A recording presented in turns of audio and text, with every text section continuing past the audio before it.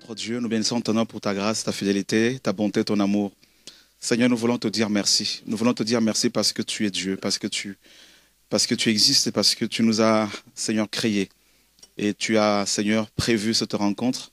Nous voulons, Seigneur, te bénir. Lorsque tu rassembles les gens, Seigneur, c'est pour une raison précise. Seigneur, tu connais nos failles, tu connais nos manquements, tu connais, nos, Seigneur, nos limites. Et euh, tu veux, Seigneur, que nous nous perfectionnions, Seigneur. Et nous voulons, Seigneur, avancer, marcher avec toi, Seigneur, et te servir pleinement. Nous voulons, Seigneur, t'honorer en toutes choses et que ton nom soit glorifié, Adonai, Dieu d'Israël, au nom de Yeshua, notre Seigneur et Sauveur. Amen. Et euh, donc ce matin, on a parlé un peu de, on a fait un peu le bilan. Et euh, je sais qu'il y en a qui doivent partir tout à l'heure, mais je pense que si euh, vous pouvez retarder un tout petit peu votre départ si c'est possible pour parce que c'est des journées comme ça, on n'en a pas tout le temps. Il faut bien profiter de tout ce que le Seigneur veut nous partager. Il y en a qui ont fait, qui ont roulé toute la nuit, comme ceux qui sont, venus de loin. Alors, euh, il y en a ceux de Nantes qui aimeraient aussi partager un peu là. On pourra aussi bien échanger peut-être à Nantes aussi, hein, pour euh, permettre à ceux qui sont venus vraiment de loin et qui sont venus pour la première fois euh, de beaucoup échanger avec nous, de bien échanger. Et on a voulu, le Seigneur a voulu cette rencontre, comme euh, vous le savez, parce qu'il y en a qui sont arrivés après, parce qu'on a constaté qu'il y a quand même quelques pasteurs qui suivent les enseignements depuis quelques temps et qui sont touchés. Donc euh, ce matin, on a pu avoir des témoignages, des pasteurs qui ne sont pas forcément, euh, qui, ne sont pas forcément avec nous, et je veux dire qui ne sont pas, qu'on connaît pas, qu'on vient de, connaître, de découvrir. Et donc pour montrer que le Seigneur a voulu faire cette réunion organiser cette réunion pour nous montrer qu'on n'est pas seul, qu'il y a vraiment un peuple euh, derrière euh, euh, l'évangile, que tous les pasteurs qui sont dans le système religieux ne sont pas forcément mauvais, que parmi eux, comme nous l'étions aussi hier, beaucoup sont du Seigneur, beaucoup cherchent le Seigneur. Et donc, voilà. Donc, on a rapidement, hein, pour ne pas oublier ce qu'on a partagé ce matin, on a témoigné que le Seigneur est vraiment fidèle et euh, quand, il, euh, euh, quand il donne une vision, il donne vraiment les moyens pour pouvoir rentrer dans cette vision, concrétiser cette vision. Et nous avons fait le, bilan, nous avons constaté qu'il y a vraiment des problèmes hein, dans, dans nos assemblées.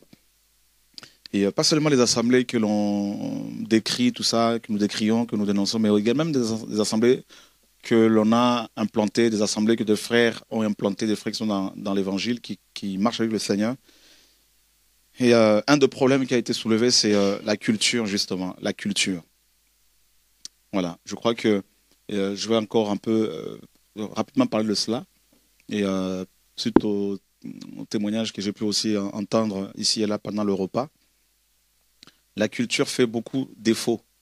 Je me rappelle, il y a quelques années, j'étais à Stuttgart en mission le Seigneur est venu me visiter, il m'a dit, euh, je te donne à t'occuper de la culture européenne. Et euh, ensuite, il a commencé à m'enseigner vraiment sur la culture. Et euh, il m'a enseigné sur la culture sur deux choses. La première chose, c'est l'identité. N'est-ce pas? La culture, et c'est ce qui fait de nous ce que nous sommes sur le plan humain. Et parce que dans la culture, on voit, il y a bien sûr des traditions, coutumes, tout ça. Et, euh, il y a aussi l'éducation, les enseignements et euh, la manière de, les mœurs, hein, la manière de vivre, de fonctionner, de, manger, de s'alimenter, de s'habiller, tout ça. Donc, la culture est liée à notre identité. Notre identité est liée à notre culture. Aussi bien la culture française que africaine, arabe, tout ça. Et voilà. Et une des choses que le Seigneur fait quand il touche une personne, c'est la transformation euh, par rapport à sa culture. C'est vraiment important. On a pu voir euh, rapidement, on a parlé de Pierre. Pierre avait la culture euh, comme juive, et quand le Seigneur est venu lui parler dans Acte 12, alors qu'il avait déjà reçu euh, l'onction, Pierre dira au Seigneur, je ne peux pas tuer ces animaux et les consommer parce que depuis mon enfance, je n'ai jamais mangé ces choses. Voilà. Donc, à cause de sa culture, et derrière ça, il y avait la loi de mosaïque, mais ce qui a été mal compris, comprise. Et à cause de la culture, Paul, Pierre pardon, a failli sortir de la vision du Seigneur. La culture. Si on prend sur le plan mariage, par exemple, nous assistons, nous voyons dans la, plupart de nos assemblées, et, euh, euh, des assemblées d'origine africaine notamment, et euh, cette, ce qu'on appelle la dot, il y a la dot. Il y a encore des milliers de pasteurs qui vivent à l'étranger, qui sont en Europe, et qui prennent encore, qui prennent la dot, et qui enseignent la dot, et qui, des chrétiens qui sont attachés à leurs coutumes par rapport à la dot, par exemple. Et je vous assure, c'est difficile quand c'est comme ça d'aller toucher d'autres peuples si on est confiné dans sa culture. C'est très, très difficile. Et, euh, et moi, ça fait mal. Ça me fait très mal de voir des frères, des frères et sœurs d'origine euh, étrangère, africaine, qui ont la grâce. On a connu des, serviteurs, des servantes qui avaient une telle grâce, une telle onction, une telle connaissance de la parole. Mais on a, on a vu ces hommes euh, euh, on le voit aujourd'hui, finir mal, n'ayant laissé aucun héritage pour des générations présentes et futures. Tout simplement, quand tu vérifies bien, s'ils sont tombés, c'est toujours la culture. Et Satan est très fort, et très, très fort. Hein. Donc Dieu est tout puissant, mais Satan est quand même fort, très fort. Et il sait comment détruire les uns les autres par rapport à leur culture.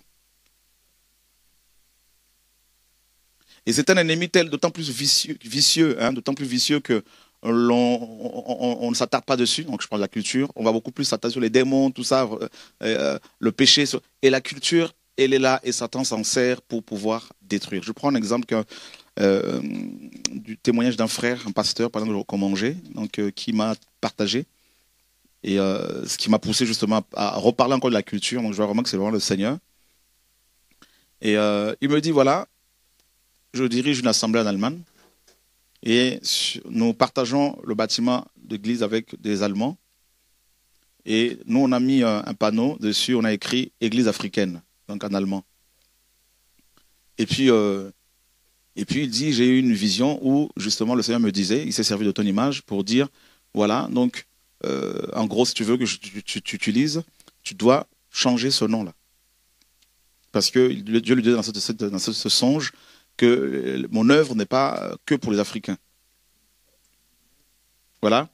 Et euh, donc je me suis dit, c'est bon, donc je crois que je vais reparler encore de la culture parce que ça nous concerne vraiment. Euh, je parle aussi bien de la culture européenne qu'africaine et euh, tout ça. Donc je parle de toute l'Afrique, donc Maghreb, tout ça. Et je vous disais que dans la culture, il y a l'identité.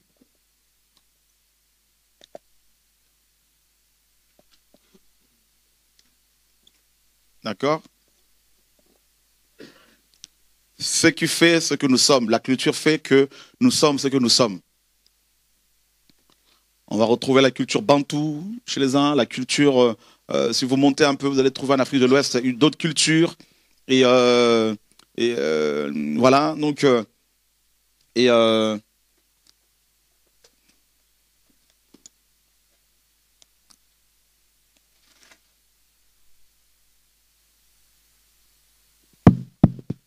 Donc il y a l'identité et deuxièmement il y a, la fonction. D'accord? Donc l'identité, notre identité est aussi liée à une fonction. Et euh,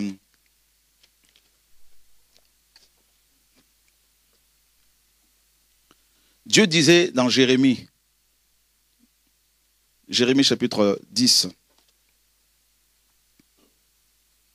ce que je partage avec nous là, c'est vraiment le Seigneur qui me pousse à en parler. Je pense vraiment prendre, prendre euh, au sérieux ces choses, c'est vraiment capital.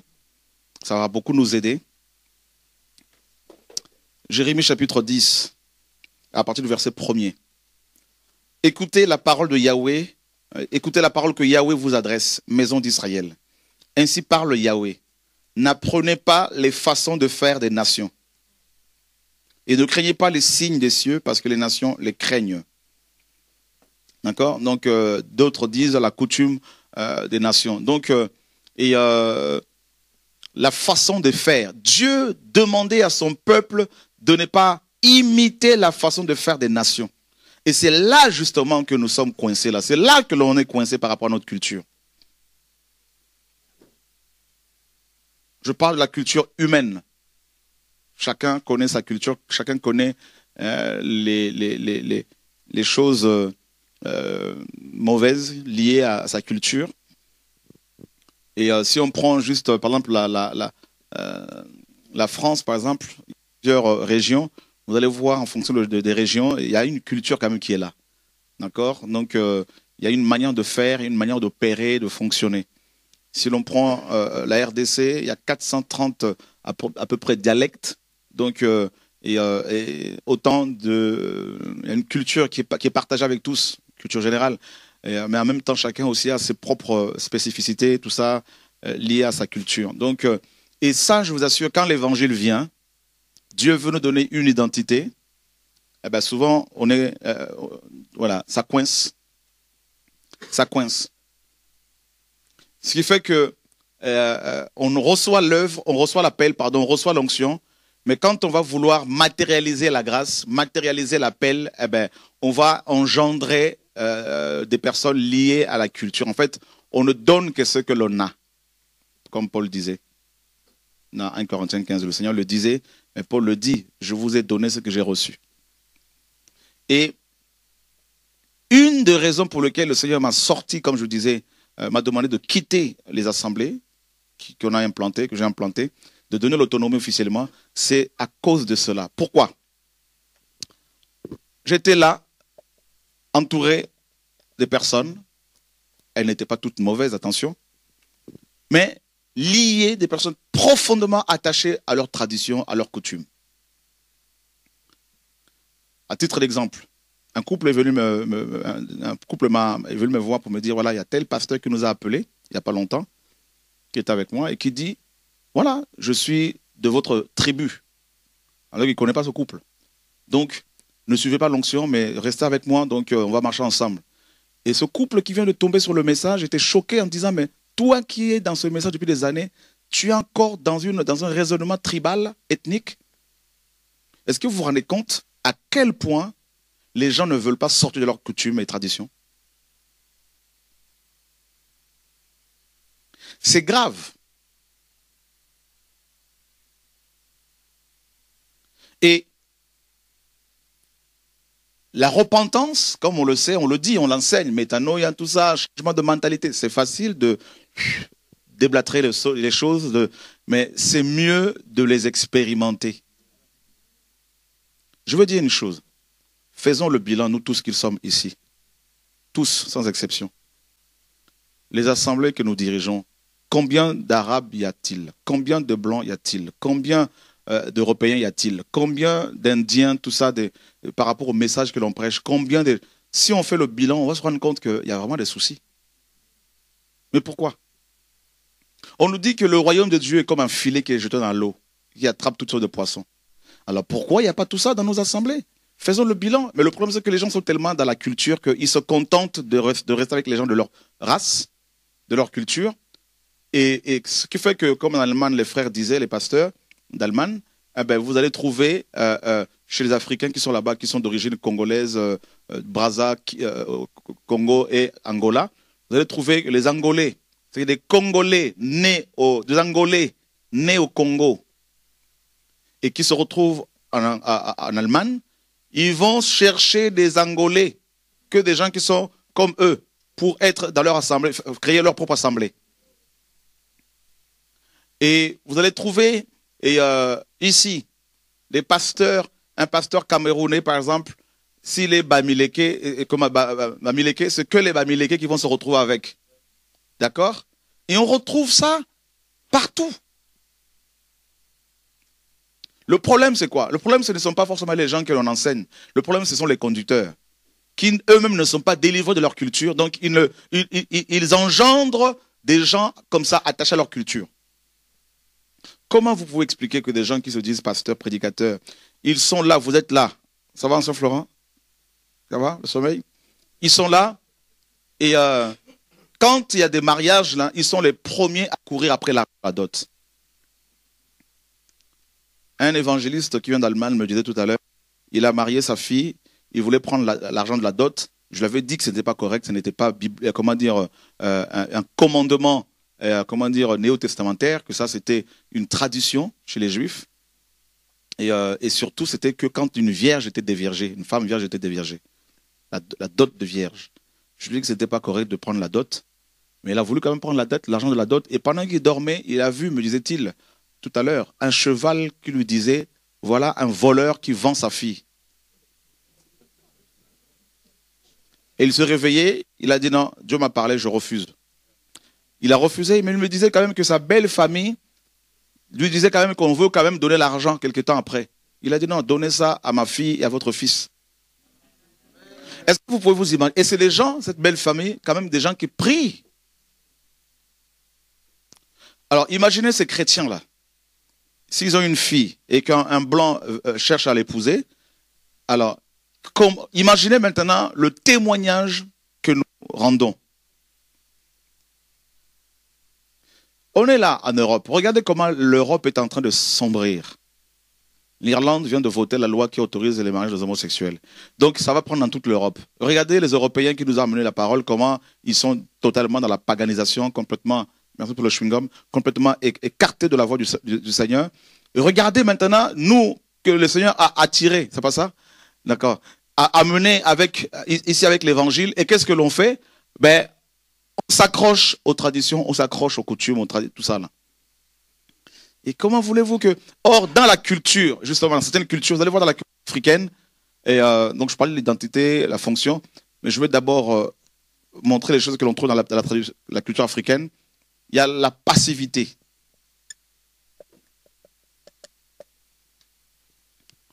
Les gens ne veulent pas travailler. Tout doit leur tomber du ciel. C'est pour cela que vous allez voir qu'ils font beaucoup d'enfants, des couples, pour avoir des allocations. Dès l'instant où ils, trouvent qu'en Europe, il y a des combines pour avoir facilement l'argent, eh bien, parce qu'on a beaucoup d'enfants, ils font des enfants. Je veux parler de la culture, hein, là c'est quand même capital. Si vous n'enseignez pas ces choses à vos chrétiens, aux gens que vous dirigez, eh bien, je vous assure, vous pouvez leur euh, remplir leur crâne de versets bibliques et ça ne va pas changer. D'ailleurs, si on fait le bilan, on, s'en aperçoit. Hein. On a des gens qui connaissent la parole, mais quand on reste sur le plan culturel, il y a beaucoup de failles. D'accord? La passivité. C'est pour cela que nous avons des, gens, d'abord, on trouve des gens qui font beaucoup d'enfants, et, euh, euh, tout ça, et ils n'ont pas le temps de s'en occuper. Et l'argent entre, l'argent entre, l'argent entre. Et ça va plus loin. Donc il y a la passivité, et deuxièmement, il y a le mensonge.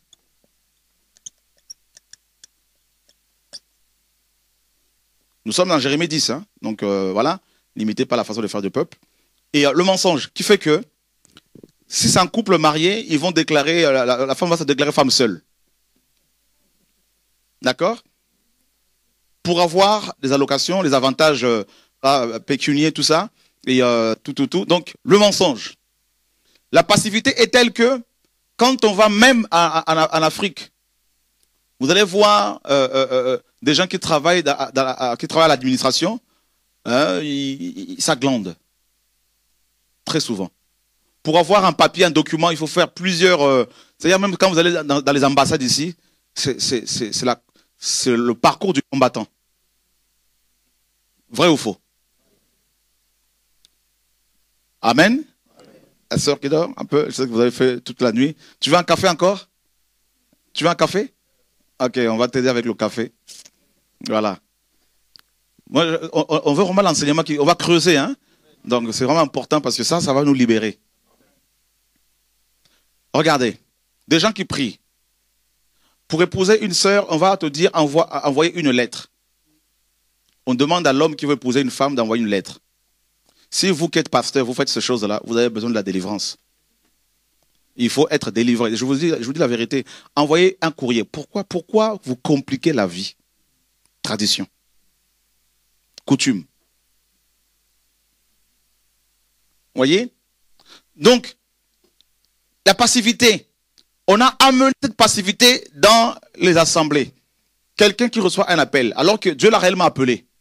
Il a vraiment une onction, la connaissance. Mais dans sa tête, bon, je veux, je ne veux pas travailler, entreprendre quoi que, ce soit, et euh, je veux vivre sur le dos des frères et sœurs ils prennent quelques versets bibliques pour dire celui qui travaille à l'hôtel mange à l'hôtel. Vous voyez sa culture Donc, Je vous dis, il a bien commencé cette personne. Au bout de quelques temps, il va tellement être dans les besoins qu'il va finir par modifier son message.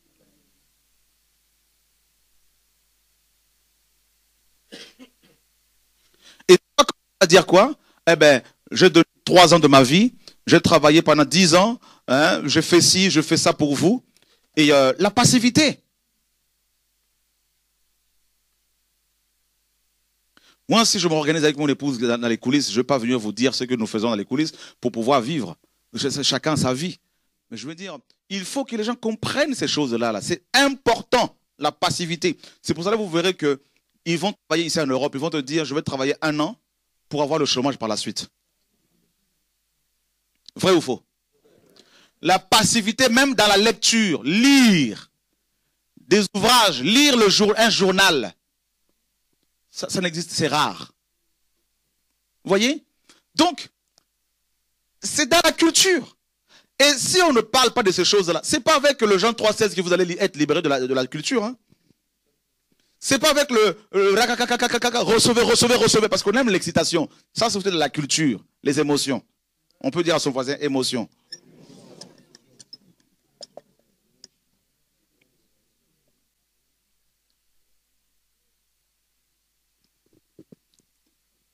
Vous allez voir qu'on a un problème d'enseignement dans les assemblées. Quand on veut enseigner en profondeur, les gens sont fatigués. Quand il faut maintenant commencer à crier, là tout le monde est debout. C'est pour cela qu'ils aiment bien les ministères, comme le combat spirituel. Quand ils prient, ils sont en train de marcher, ils crient. Si tu pries calmement, tu pries pas. Quelqu'un qui vient, qui enseigne doucement, il n'a pas l'onction. C'est pour cela qu'ils disent, oh, les blancs, n'ont pas l'onction. Dis à ton voisin, émotion.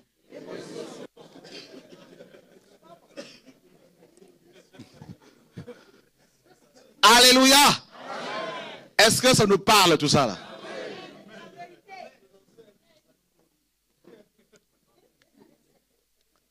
C'est pour cela que beaucoup meurent parce qu'ils veulent manifester une onction qu'ils n'ont pas. Je sens quelque chose, je vois quelque chose, je vois un démon. tu ne vois rien. Sentiment, émotion. Nous acclamons le Seigneur pour ta parole, frères et sœurs.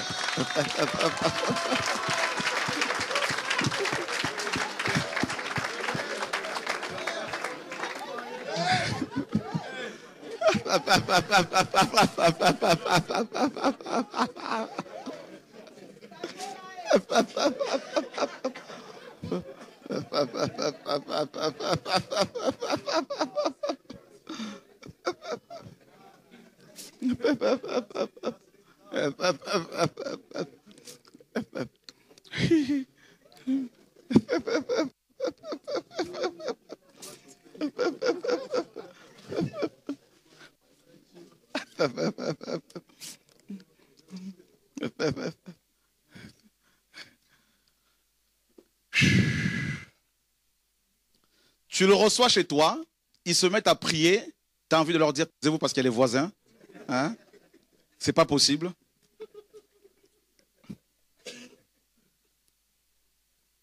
Les émotions sont telles que même quand ils prennent le bus, le transport, ils parlent fort et tu as envie de te cacher. Ils font abstraction de tous ceux qui sont autour. Ils sont les seuls au monde. Et ça parle fort. Ça, la culture. C'est pour cela que vous verrez que ces églises-là sont des boîtes de nuit. Il y a plus de chants que Chants, danse, transpiration. En fait, au fond, il n'y a rien. Vous leur dites, qu'est-ce qu'il y a eu comme enseignement? Ah, c'était fort. mais qu'est-ce qu'on a enseigné? Non, mais c'était terrible. Il fallait être là.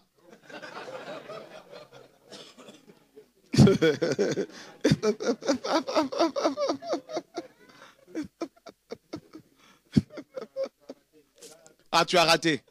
Hmm.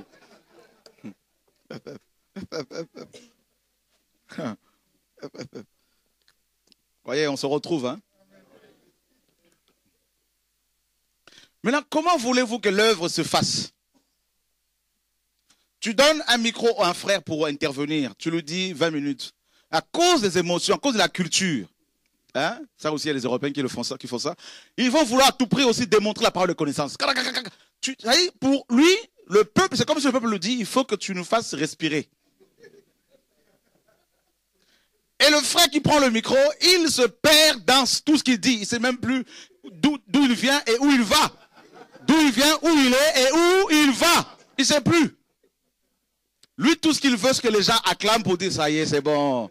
Là, je suis nourri. Hmm, mon orgueil prend un coup, là, c'est bon, là. Enfin, pas, pas prendre un coup, mais mon orgueil est nourri, mon orgueil est nourri. Et c'est grave.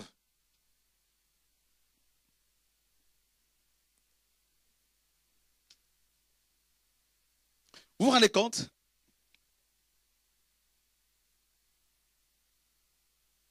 Et euh,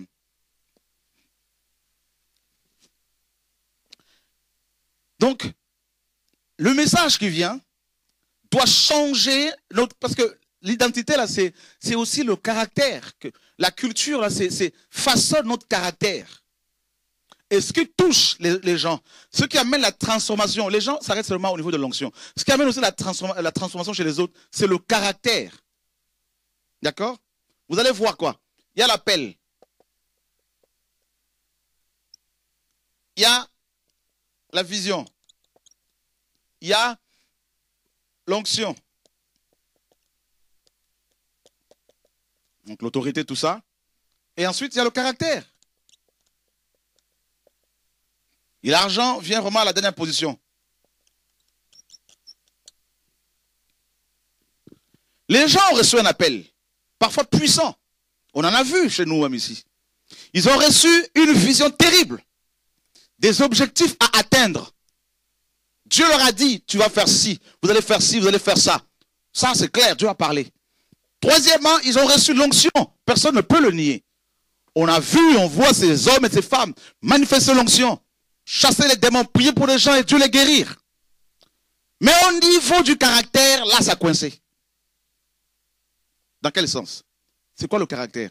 Le caractère ici, hein, c'est un rapport avec la culture, avec l'identité du messager, l'identité de la messagère. Parce que quand Dieu vient toucher une personne, l'une des choses que Dieu fait, en premier lieu, c'est l'identité. Il nous donne une identité. Il fait de nous des fils et des filles. L'épouse de Christ. La maison de Dieu. Ça, c'est l'identité, notre identité. Le caractère. Et le caractère, justement, a rapport avec notre identité. L'identité a rapport avec la culture, nos traditions. Je vous disais tout à l'heure, un pasteur qui travaille en Europe et qui ne cesse d'appeler tout le monde, toutes les filles, mes filles, mes filles, mes filles, mes filles, je vous assure, à cause de la culture, il va faire fuir les Européens, il va faire fuir les Arabes, il va faire fuir les Indiens, il va faire fuir les nations, parce que les gens n'ont pas cette culture-là. Paul disait quoi? Avec les Grecs, j'étais comme un Grec pour gagner les, les Grecs. Les gens vont fuir.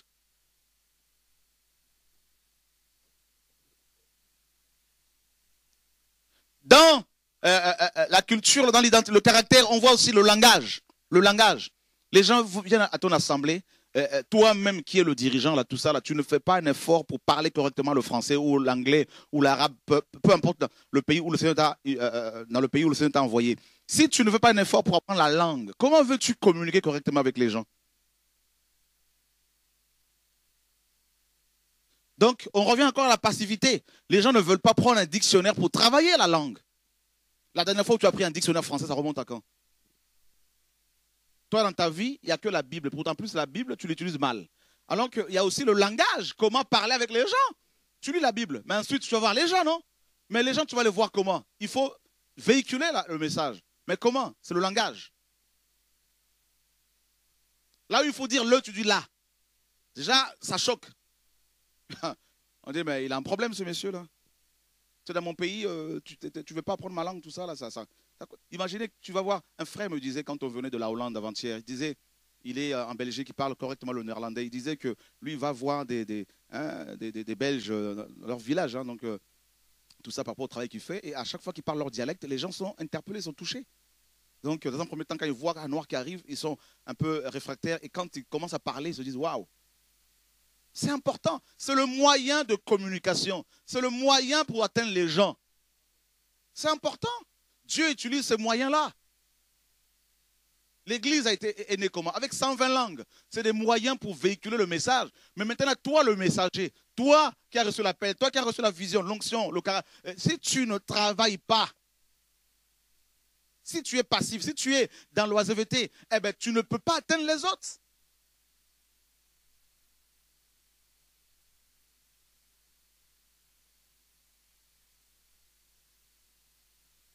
Moi, jusqu'à ce jour, je prends encore le dictionnaire pour, bosser, pour travailler. Euh, beaucoup de chrétiens, tu prends un pasteur aujourd'hui africain, excusez-moi du terme, même euh, européen aussi beaucoup, hein. tu le prends un pasteur tel qu'il est formaté par la religion aujourd'hui, tu le prends 15 ans après, il a le même discours, dans, le sens où il n'y a pas d'évolution. Voyez? Il n'y a pas de culture générale.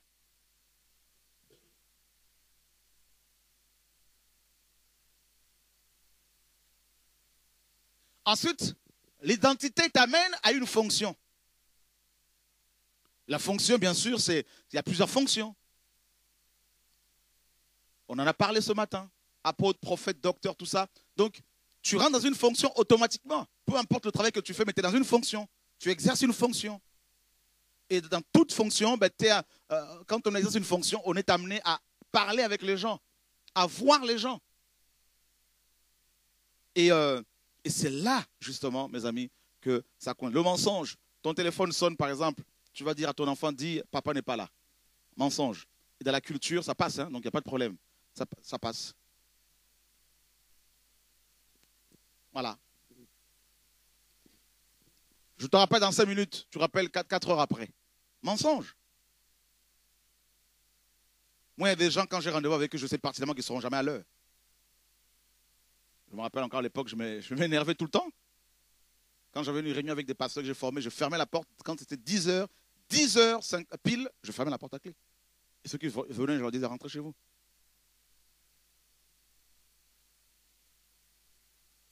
Disciple, discipline. Comment voulez-vous toucher les gens si vous-même vous n'êtes pas éduqué, discipliné? Dans la culture, la passivité, l'argent, on demande l'argent facilement. Un dirigeant ne doit pas demander l'argent n'importe quoi. Moi, je vois des frères qui viennent, tu n'as pas 50 euros? Non, mais attends, je ne suis pas ta banque. Je ne pas ta banque. Je parle de manière globale. Hein. J'ai connu ça. Vous savez ce qui a fait tuer les gens ici, frère? Je vais, je vais vous aider. Ce qui a tué beaucoup, c'est ça, là. J'ai vu des femmes de dirigeants demander l'argent facilement. Il y a la femme d'un dirigeant que j'ai formé hier qui est venue un jour. C'était lors d'une réunion ici. Elle va voir un frère, elle dit, t'as pas 20 euros pour acheter un KFC Le frère dit, j'ai pas elle va voir un deuxième frère. pas... Donc le premier frère à qui elle est partie voir, elle a demandé 20. Le frère dit non, j'ai pas. 10, j'ai pas. 5, j'ai pas. 1 euro, j'ai pas. 50 centimes, j'ai pas. Elle sort de là-bas, elle va voir un deuxième frère. La même chose, j'ai pas. 50 centimes, j'ai pas. Troisième frère, et quatrième, la quatrième personne, c'était moi. Je ne savais pas qu'elle avait déjà été voir tout ce monde. J'avais 20 euros, j'ai donné. Et à la fin, on vient me voir pour me dire voilà ce que la, la soeur a fait. Je prends le téléphone, j'appelle cette femme. Parce que moi, quand j'entends quelque chose, je, vérifie, j'appelle. J'appelle, je tombe sur son mari, je dis Ta femme est là? Oui, mets-le au parleur, s'il te plaît. Est-ce que tu as donné l'argent à telle personne? Oui. À telle personne? Oui. Je dis Ça, c'est la cupidité, c'est du vol. Tu vas détruire le, travail de ton mari et ton propre travail. Mais vous savez quoi? Ils ont oh, ont essayé de se justifier. C'est toujours de la culture, la justification. Et ensuite, l'orgueil. Et au jour d'aujourd'hui, ils sont en train de mourir. Fini. Ça prêche, il n'y a plus le feu, il n'y a plus l'onction. Dieu a enlevé tout. L'orgueil. Frères et sœurs, je ne dis pas qu'il ne faut pas demander quand on a des problèmes. Mais dans la culture, il y a tellement la passivité que les gens, quand ils entendent seulement qu'il y a 100 000 euros sur le compte, toutes les antennes, tout, est, je vous, assure, j'ai connu ça. Tout se dresse, mais je vous dis la vérité. Vous savez, on rigole, mais le problème c'est que beaucoup vont finir encore comme ça. oh, je parle. Ça va très très loin. Je vous dis une chose. La foi, c'est quoi Tu as une mission que Dieu t'a mis à cœur, un projet, plie les genoux. Apprenez d'abord à dépendre de Dieu avant d'aller demander ici. Vous voulez aller plus loin avec Dieu? Pliez les genoux, Seigneur, tu me mets à cœur d'aller dans tel endroit. Si c'est ta volonté, que je puisse avoir de quoi faire cette mission-là. Tu verras quelqu'un viendra te voir pour te dire, voilà, je ne sais pas, mais Dieu me disait de te donner ça. Est-ce que vous comprenez? Et là, tu vas témoigner, oh, vraiment, Dieu est magnifique. Si vous n'apprenez pas d'abord à dépendre de Dieu, vous allez demander ici et là, l'esprit de cupidité qui frappe les gens facilement, là, ça va vous frapper.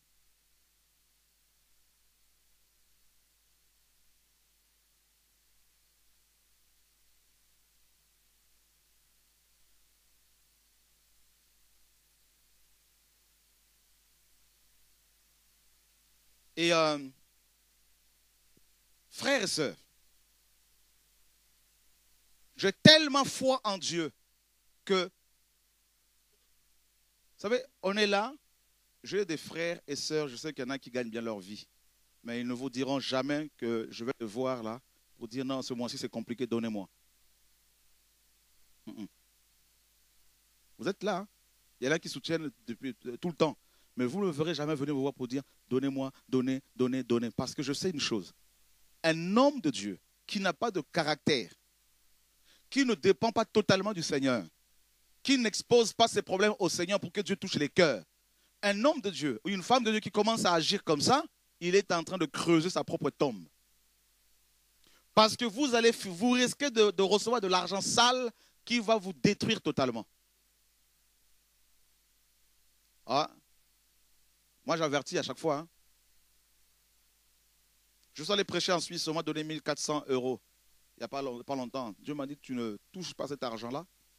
Je dormais comme ça la nuit. Là. Le Seigneur est venu me voir. Quelqu'un disait dans, cette onction, cet argent qu'on a donné, on va voir l'onction. Dieu me dit Voilà, ils veulent, acheter l'onction. Tu ne manges, tu ne prends pas cet argent.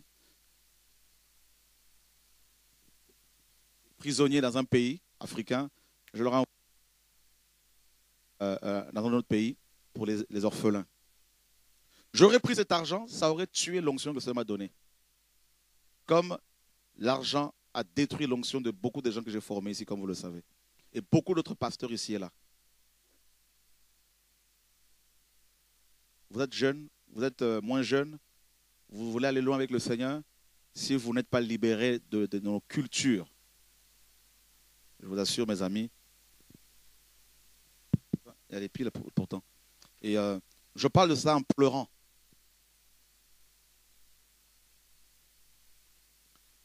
J'ai vu des gens que j'ai formés à cause de la passivité, à cause de la culture.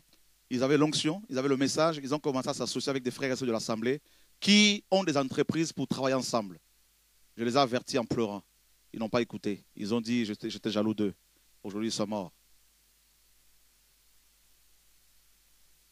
Un homme de Dieu un homme qui, un messager, ne peut pas aller faire des travaux chez un frère pour qu'on lui donne l'argent. Il commence à sortir. Mais quand on dit ça, on dit il est dur. L'éthique, la déontologie manque à beaucoup. L'éducation. On reçoit la connaissance, mais il manque l'éducation. Vous savez, la dernière lettre de l'alphabet hébraïque, la dernière lettre de, de la Torah, c'est le fouet. C'est la dernière lettre. La Mède. La Torah, les cinq premiers livres. Le dernier livre, Deutéronome, fini par Israël. La dernière lettre d'Israël, c'est la Mède. C'est le fouet. C'est la lettre qui est au-dessus de toutes les lettres. Elle surpasse toutes les lettres. C'est la correction, c'est Rabbi. C'est le docteur. C'est l'enseignant. C'est l'instruction. Et ça, ça manque. L'instruction, c'est la correction. C'est reprendre quelqu'un. C'est corriger en, en, reprenant la personne parce que ça va l'aider à se maintenir dans la vie jusqu'à la fin. C'est pour cela, l'Ecclésiaste dit que la, connaissance t'élèvera. C'est-à-dire les gens, ne comprennent pas les choses. Tout est mélangé dans la tête des gens, des uns des autres.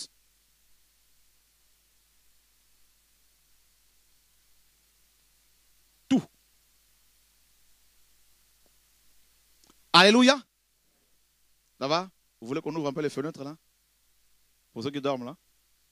On ouvre un peu les portes en même temps c'est possible.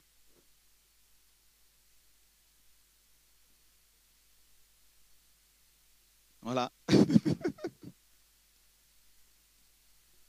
Est-ce que ça vous intéresse ces choses-là?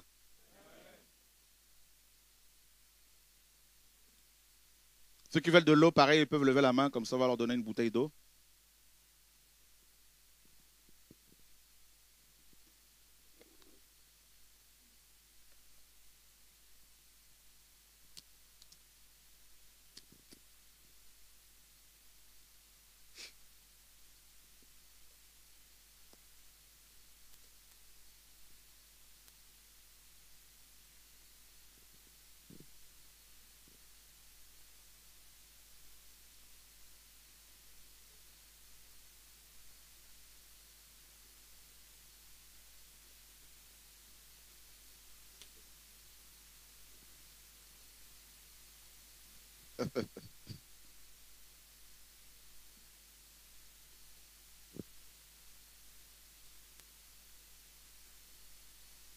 Comment?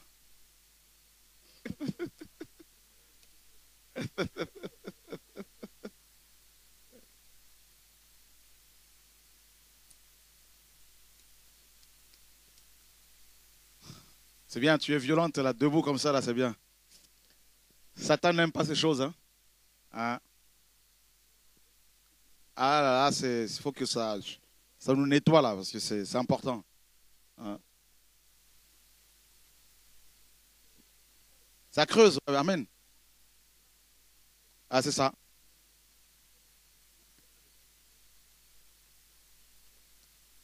Il veut tout le temps nous exciter, alors qu'on a besoin de nous asseoir un peu là.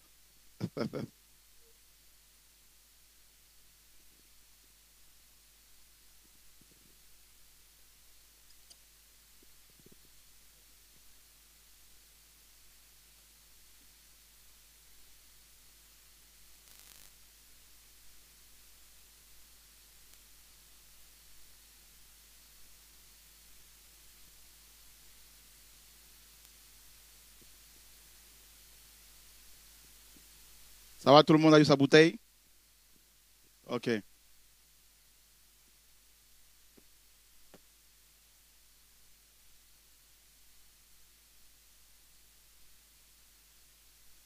Sébastien est parti là? Ok. C'est bon. On peut reprendre? Ok. Donc, La passivité. Vous allez voir que des gens, ils vont travailler dans l'œuvre, ils vont commencer une œuvre, une église. Au bout de deux, trois ans, ils vont vouloir tout de suite manger. Voyez? Ils sont passifs. Ils ne vont pas se dire, on va travailler même pendant 20 ans, 30 ans. Et ils vont travailler pendant quelques temps et puis ils vont commencer. L'argent qui rentre comme ça là, pour la mise, pour l'œuvre, ils prennent ça pour eux. Vous allez, voir qu'eux, ils sont plus riches que l'œuvre de Dieu. Alors que c'est le contraire qui devait se faire. L'œuvre devait être plus riche que leur propre vie, personnelle. D'accord? Et euh, ce n'est pas correct qu'un homme de Dieu, qu'ils ait deux voitures, une pour sa femme, une pour son mari, bon, euh, pour le mari, ok. Mais avoir trois véhicules pour un couple, ça c'est la sorcellerie. Alléluia Amen. On peut acclamer la parole de Dieu, frères et sœurs.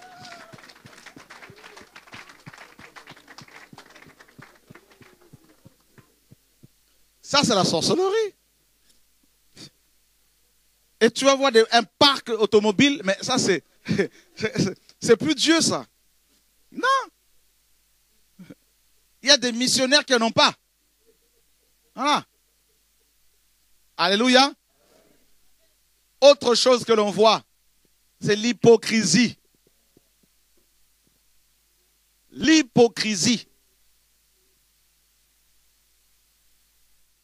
Frère, écoute, euh, je te dis que euh, euh, tel, tel frère a parlé mal de toi, mais ne dis pas que c'est moi qui te le dis. C'est-à-dire, c'est le mensonge déjà, et tu veux me faire mentir frère, je te dis, voilà ce que tel frère a dit. S'il nie, dis-lui que je viens me voir, je témoignerai.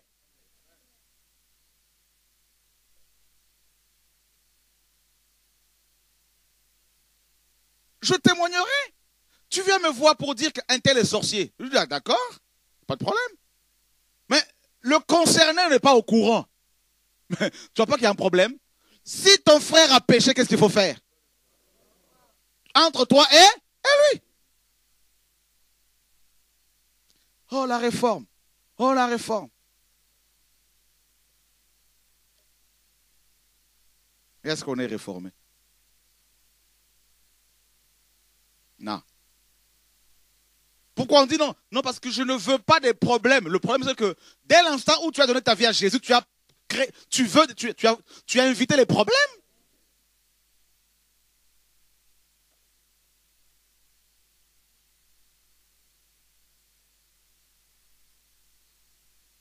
Le problème, c'est que vous avez plus, à cause de la culture, plus peur des hommes que la crainte de Dieu.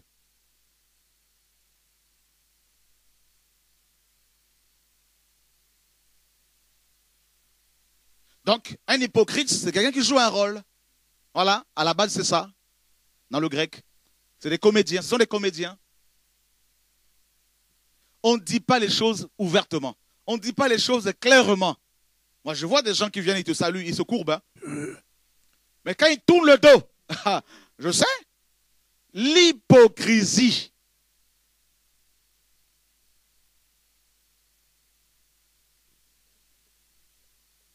Et ça, c'est dans la culture. Hein.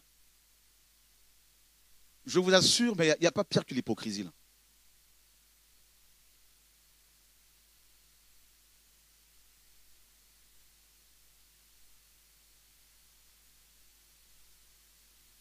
Quand j'apprends quelque chose sur quelqu'un, qu'est-ce que je fais? J'appelle. J'appelle. Ceux qui me connaissent, j'appelle. Voilà, j'ai pris ça. Voilà ce que j'ai entendu. Voilà, il y a ça, ça, ça, ça. Parce que tu ne peux pas voir la personne faire semblant que tout va bien, alors que dans le cœur tu penses autrement. Mais il y a un problème. On est de la lumière.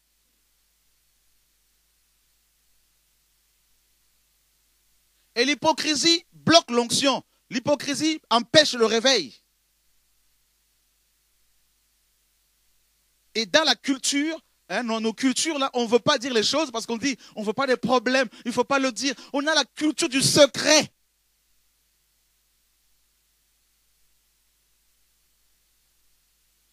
Oh, je ne veux pas des problèmes.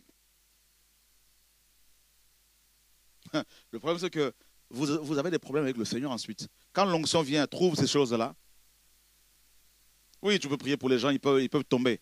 Mais je parle de l'onction qui t'amène à percer. Il n'y a rien. Et ensuite, quand quelqu'un commence à percer, on est les premiers à dire Oh, ce sont les idolâtres. Ah non, on n'est pas idolâtres. Le problème, c'est qu'il ne faut pas tout mélanger non plus, quoi.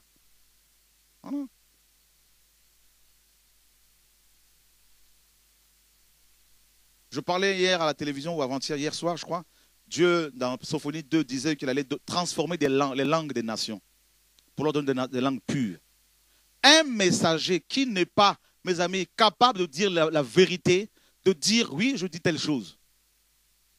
Nous sommes allés chez vous à, Niort. J'ai dit à un, pasteur, quelque part, je dis, ton collaborateur est un sorcier. On se retrouve quelque temps après à Niort avec ce collaborateur, avec ce pasteur. Vous étiez là Il a dit devant moi. tu as dit justement parce qu'il est allé me balancer. Je lui ai dit, mais moi, tu ne me balances pas parce que je dis les choses partout, telles, que, que je le dis, telles que Dieu me le donne. Il me dit, bah, tu as dit que justement mon collaborateur était sorcier, tout ça. Et le collaborateur plutôt m'a dit, ouais, le frère, le pasteur a dit que tu m'as, tu as dit je, je dit, bien sûr, bien sûr. ben, où est le problème? Oh non, mais c'est vrai que ma copine, tout ça, était dans la sorcellerie, elle a voulu m'initier. Je dis, non, c'est pas qu'elle a voulu. Voilà. Repends-toi. Le problème, c'est que nous, on va commencer à se justifier. Mais en fait, ce n'était pas dans ce sens-là. Mais attendez, pourquoi vous mentez comme ça, là?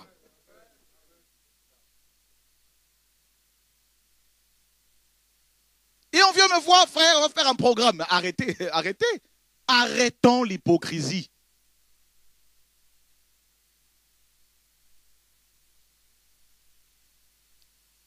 Ah, globalement, les Français te disent les choses en face. Il y a l'hypocrisie aussi forte. Mais en général, en tout cas, les Allemands, pareil, ils te disent euh, si tu n'aimes pas, je ne t'aime pas. Je ne t'aime pas. Vrai ou faux, vous qui êtes Allemagne là-bas Voilà. Nous, on va dire, mon frère, ma soeur, bisous. Dans le cœur, on pense autre chose. Changeons ça. Alléluia. Ok.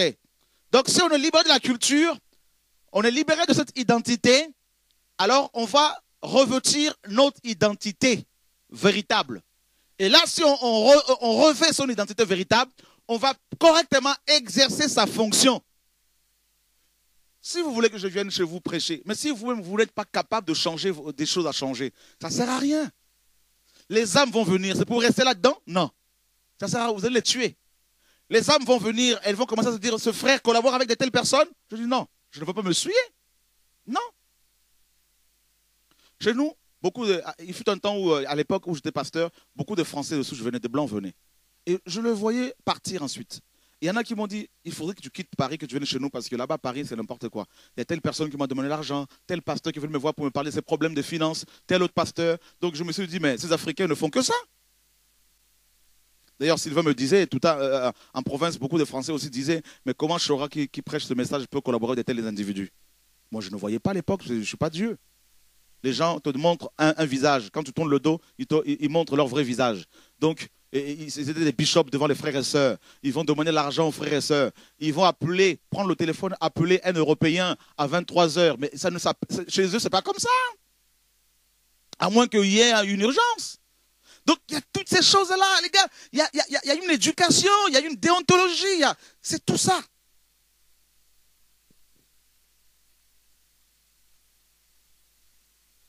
Frère, moi je partage ça. Depuis les années, hein, les gens ont dit non, mais il exagère quand même. Le problème, c'est que quand vous faites le bilan, là, commencez votre appel. Soyons sincères.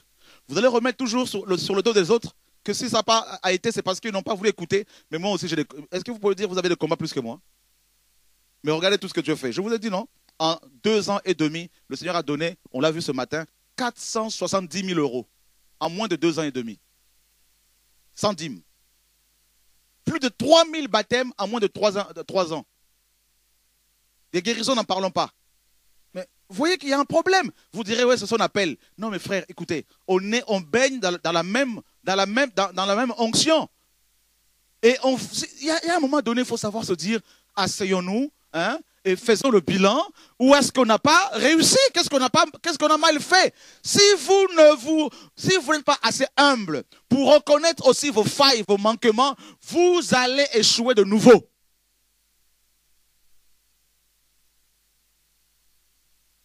Ça, ça remonte à Adam. Adam, pourquoi tu fais cela? Dieu, c'est pas moi, c'est toi.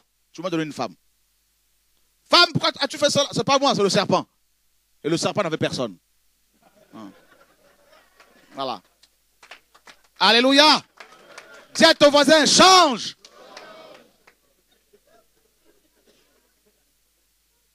Il ne pouvait pas dire sur le crapaud, hein, parce que. Ah,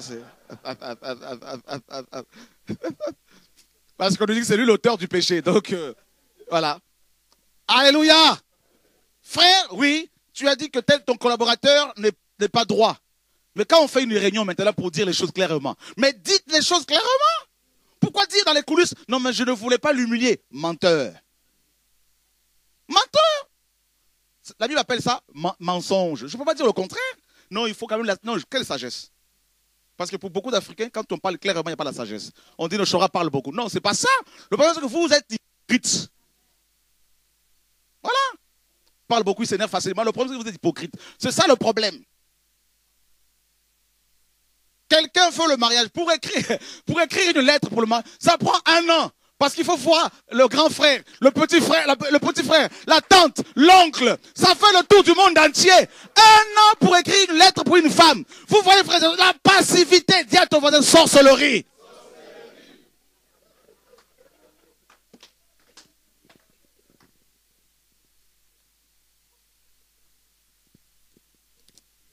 Moi, même dans ma famille, tout le monde prend. Hein. Il hein? n'y a pas de sentiment, frères et sœurs. Alléluia. Ah oui? Et quand l'enfant va tomber le péché, on dit non, impudicité. Mais oui, mais vous, vous ne facilitez pas la tâche. Complication sur complication, culture.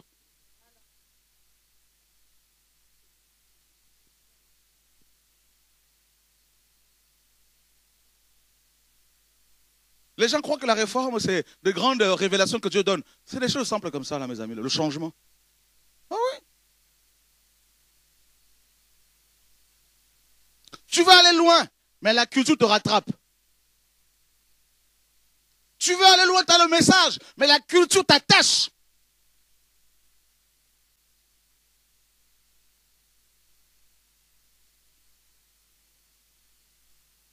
Et Dieu pleure. Parce qu'il dit, je leur ai donné la parole pour sauver l'Europe, pour partager ma parole aux Européens. Et à cause de la culture, eh ben, on, tourne vers hein, ses propres compatriotes et il n'y a rien à faire, rien à faire. Moi, je vois des frères, parfois, on a une nuit de prière, ils viennent en costume et cravate. Nuit de prière. Chacun est libre, c'est vrai, mais c'est très culturel. L'Européen vient en basket, jean, mais nous, ça, c'est pas possible. L'homme, quand même, l'homme, vous vous rendez compte de la mentalité? Le 19 décembre 2012, j'ai vu un, pasteur débarquer de province en costume et cravate. Celui-là, là, il est, il n'a pas tardé.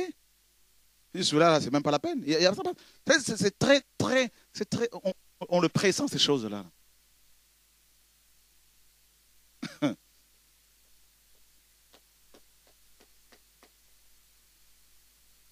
Vous êtes là, jeune, oh, l'onction vous a touché. Vous vous mettez à prophétiser devant les voisins, chez les voisins, vous criez. Mais les blancs, vous allez leur faire peur. Frère, la l'intelligence, l'éducation. Le Saint-Esprit n'est pas un esprit de désordre, de confusion.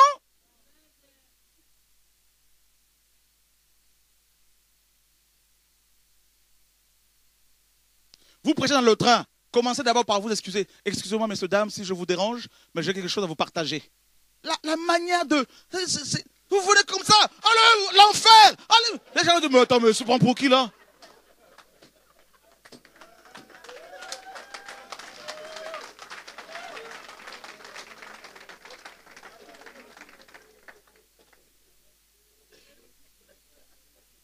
Vous criez dans le train, vous commencez à tomber sous l'onction dans le train, vous n'avez même pas de maîtrise. Ce n'est pas étonnant si on vous pique pour vous amener chez les, chez les. Hein? Tout ça, vous dites, c'est l'esprit. Et les blancs disent, c'est ça l'esprit, on ne veut pas vous ressembler. Voilà.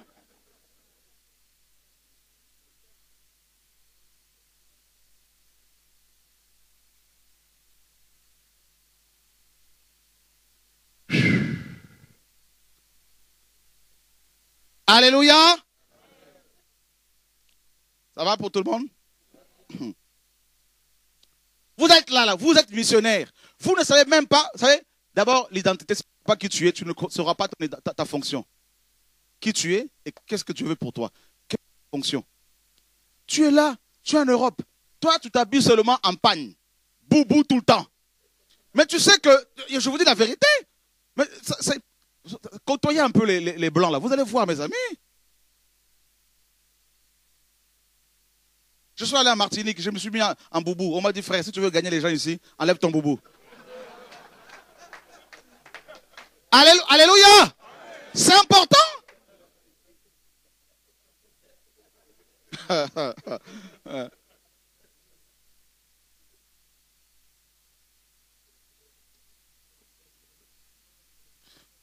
Dieu, pour nous sauver, n'est-il pas devenu un homme?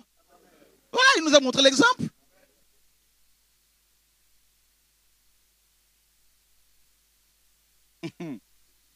Seigneur, sauve-nous. Le problème, c'est qu'on on, vit en Europe, mais l'esprit est en Afrique ou à l'étranger. Donc, du coup, quand Dieu vient, quand l'onction vient, il y, a des gens ici, Dieu a prévu une grande onction pour leur vie, mais à cause de leur culture, l'onction est donnée à d'autres personnes. Je vous dis. Il y a la notion de, la chefferie en Afrique, les chefs. Les chefs ne quittent, pas, ne quittent jamais le pouvoir. Quand ils, sont au pouvoir, là, c'est à vie. Voilà. Même quand ils ont la, la vie de Parkinson, tout ça, là, ils sont toujours au pouvoir. Hmm. Ici, même la, culture européenne nous enseigne. Vous voyez, Chirac, il est dans son coin, il a fini ça, Il est dans son coin. On peut le consulter pour avoir des conseils. Vous voyez, maintenant c'est le temps de Sarkozy, d'autres personnes. Mais chez nous, jamais. Au Sénégal, à 90 ans, il voulait toujours rester au pouvoir. Mugabe, 90 ans, toujours là. C'est plus qu'on le gère parce qu'il y a des intérêts tout autour, des gens qui, qui lui disent tu bouges pas d'ici. Nous, c'est la même chose. Bouteflika en Algérie. Vous voyez, c'est pas seulement les Noirs, hein, c'est l'Afrique. Alléluia! Vous voulez qu'on parle encore de la culture, frères et sœurs?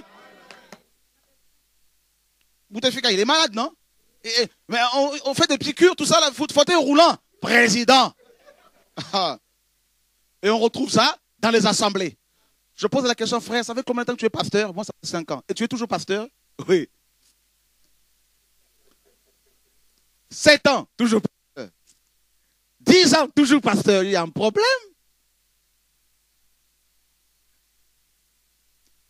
Frère, vous vous rendez compte à quel point la culture influe sur nous? Quand on était dans le système religieux, Baptiste, il y a 30 ans de cela, je me rappelle encore très bien, les pasteurs, ils faisaient trois ans, tous les trois ans, on les déplaçait. Il y avait le bâtiment d'église, à côté, il y avait la, maison pour, le pasteur. Et rappelez-vous bien, tous les trois ans, chez les baptistes et pentecôtistes, tous les trois ans, on les déplaçait. Parce qu'ils avaient compris que si un homme reste pour plus de trois ans au sein d'une église locale, à la tête d'une église locale, qu'on le veuille ou pas, qu'on le veuille ou pas, mes amis, bibliquement parlant, qu'on le veuille ou pas, cet homme-là va empêcher les.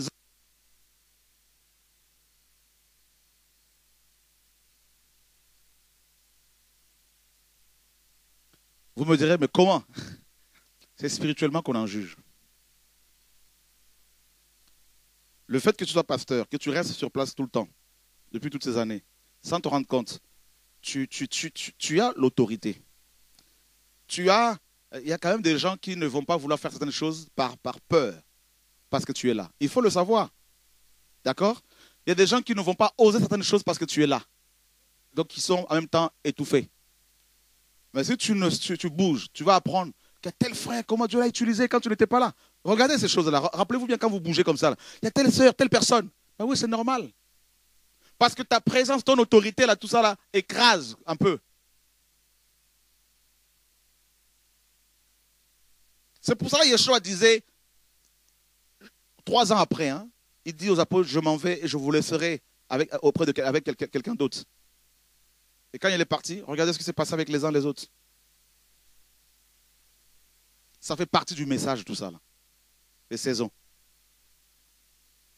Établi, préparé, bouger. Mais à cause de la culture, on va rester sur place. On va, il y a la culture par rapport à nos pays, la culture par rapport à la religion catholique avec la papauté. On va rester sur place.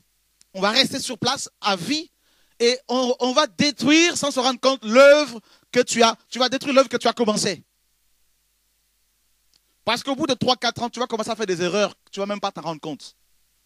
Et comme il n'y a personne pour te dire certaines choses, les erreurs vont s'accumuler et tu vas commencer à détruire.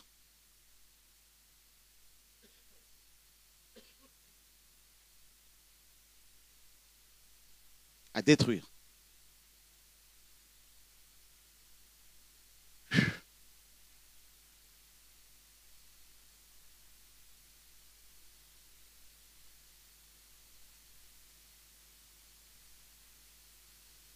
Et euh,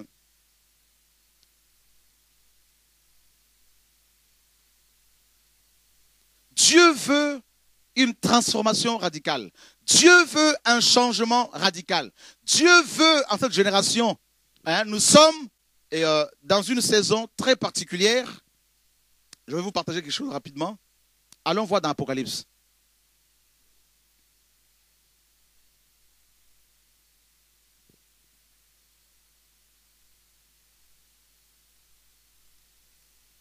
Apocalypse chapitre 1er.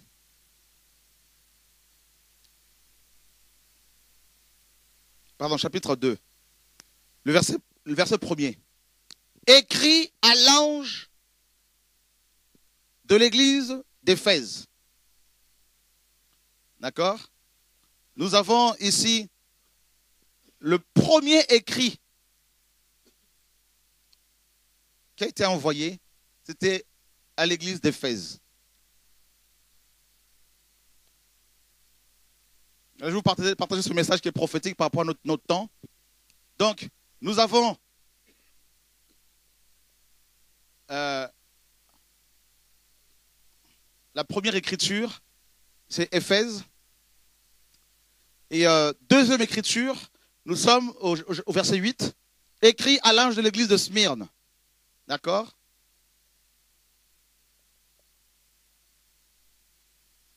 Troisième écriture, verset 12, écrit à l'ange de l'église de Pergame.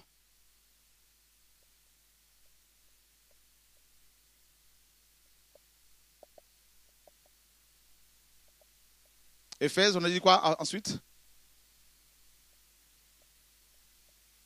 Pergame.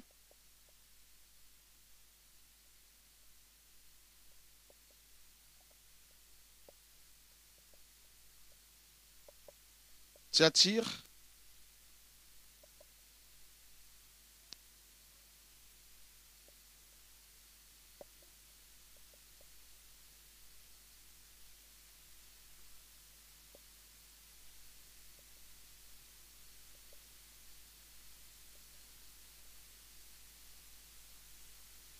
Ensuite,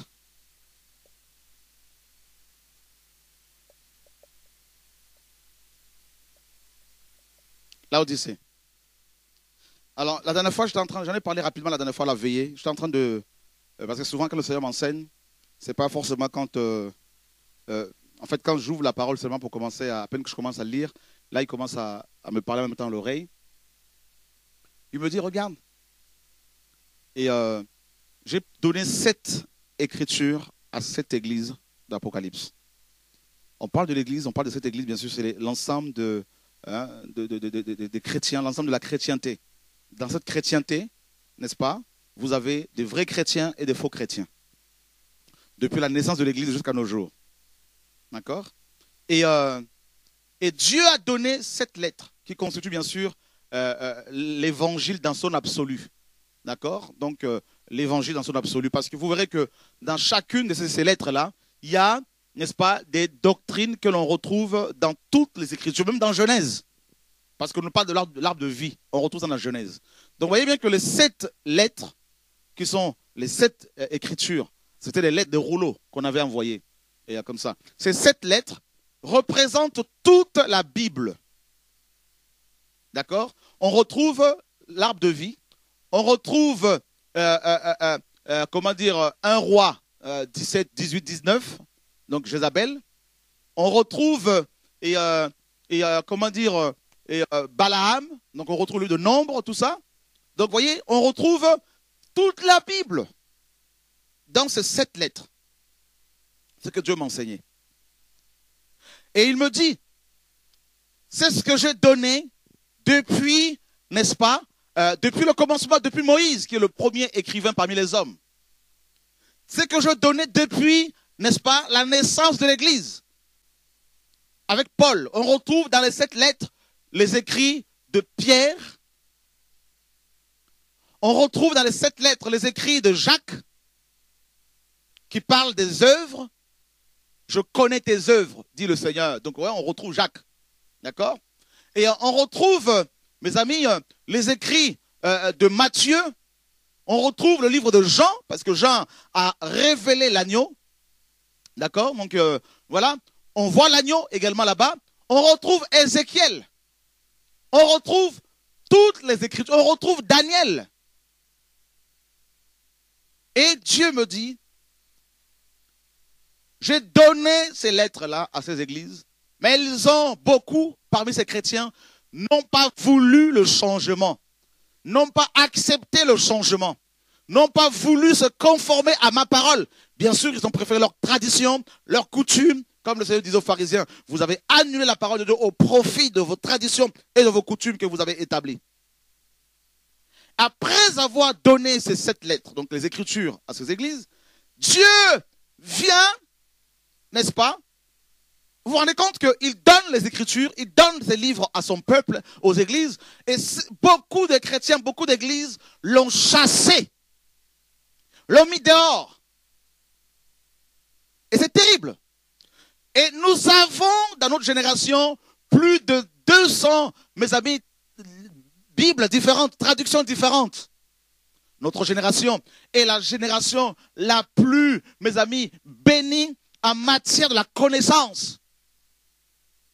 Des traductions juste, en, français. Il y en a, une centaine. Il y en a tellement. Plus on travaille, plus on découvre qu'il y a plusieurs Bibles qui ont été traduites, tout ça. En anglais, n'en parlons pas. En allemand, n'en parlons pas. Tout ça. On retrouve des écrits qui étaient cachés, comme les, écrits de, de, tout ça. Donc, notre génération a reçu connaissance. Nous avons des grandes euh, universités bibliques, nous avons des grandes écoles bibliques, nous avons, mes amis, euh, euh, des dictionnaires bibliques, on a des concordances bibliques, tout ça. On a aussi tellement, il est tellement garni, tellement béni que Dieu, pour nous donner la connaissance, a permis aussi que l'archéologie biblique soit mise en place pour confirmer la véracité de la parole de Dieu. Alléluia, Saint-Florent. Gloire à Dieu, c'est pas facile le sommeil. Hein? Gloire à Dieu. Amen. Et qu'est-ce que Dieu fait au verset 20, 3, 20 Après ce 3, 20 Est-ce qu'on peut tous ensemble le lire? 1, 2, 3. Voici, je me tiens à la porte et je frappe. Si quelqu'un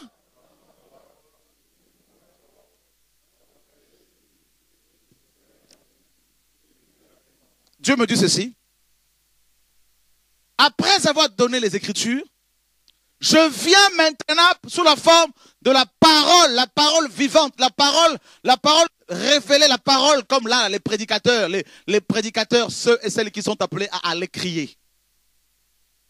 Et Dieu maintenant vient par la parole, comme on le fait ici et là depuis des années. Comme Dieu l'a fait avec ceux qui nous ont précédés comme il a fait avec Charles Finet, John Wesley, comme il a fait avec euh, mes amis Calvin, comme il a fait avec Luther, comme il a fait avec euh, euh, Simon Kimbangu, comme il a fait avec d'autres serviteurs et servantes qu'il a envoyés à chaque fois que les églises sombraient. Ah, ces hommes et ces femmes venaient avec le message approprié, avec le message du moment. Qu'est-ce que Dieu décrète au ciel actuellement? Quel, est le message approprié aujourd'hui?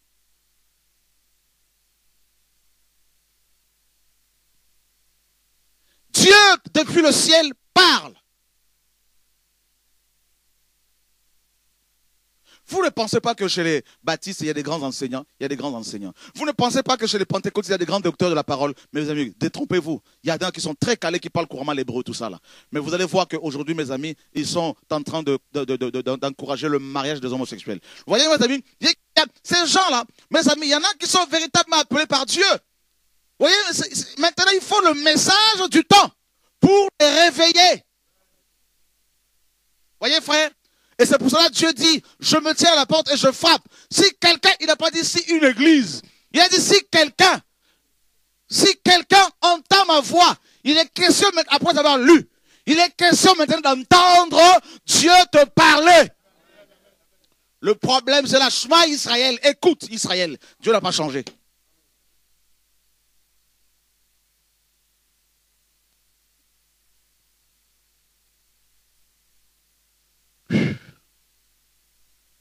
C'est quoi le message d'aujourd'hui, frère? C'est quoi le message? Qu'est-ce que Dieu dit? Dieu est, magnifique. Il envoie les lettres. Il envoie les messagers. Et à la fin, il dit, je viens moi-même et je parle. Si quelqu'un, si quelqu'un entend, entend, entend, entend. Frère, je vous dire des choses. Moi, j'étais, comme vous savez, j'étais entouré. Hein. J'avais plus de 100 prédicateurs autour de moi. Je croyais servir Dieu.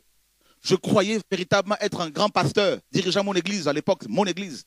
Quoique je ne touchais pas à l'argent du Seigneur, on prêchait la sanctification, mais je croyais servir le Seigneur étant pasteur. Et quand Dieu est venu et qu'il m'a parlé, ce n'est pas un homme, j'ai entendu sa voix. Il m'a dit, sors. Il m'a dit, suis-moi. Comme le frère qui disait, un, pasteur qui est ici, qui vient d'Allemagne, qui me disait, il dirige cette assemblée et Dieu lui dit de passer à autre chose. Je, dis, je rigolais, je disais, c'est ça.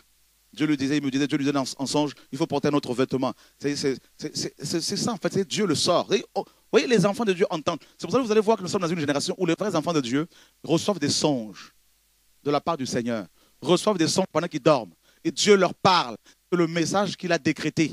Vous allez voir, quand ces enfants de Dieu entendent ce, ce son-là, entendent le son de la, du chauffard, ils se disent, non, je laisse tout ce que j'ai fait hier. Je laisse ce fonctionnement. Je veux entrer dans autre chose. Et vous ne pouvez pas les empêcher de suivre le Seigneur. C'est fini.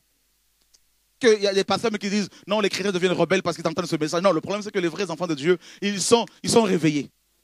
C'est un message qui vient à minuit. Et on n'est pas les seuls à le prêcher. De plus en plus de frères et sœurs ici là. C'est le message qui, est, qui vient au temps approprié.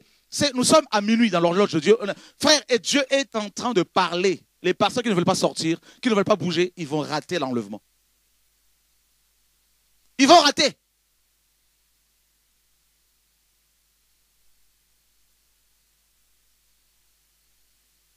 On n'a pas de jour exact, mais je vous dis de la part du Seigneur que le Maître est à la porte. Il est plus à la porte qu'on qu'on le croyait avant. Je vous assure.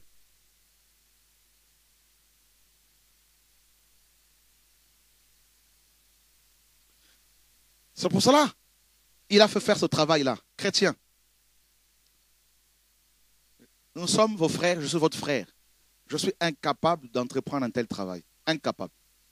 Nous sommes incapables. Peut-être il y en a parce qu'ils sont dedans, je vous dirais entre guillemets, ils sont dans le message de la, vérité, le retour à la, parole, tout ça au Seigneur, l'évangile tout simplement. Ils ne se rendent pas compte de ce travail. Ils peuvent même aller négliger ce travail.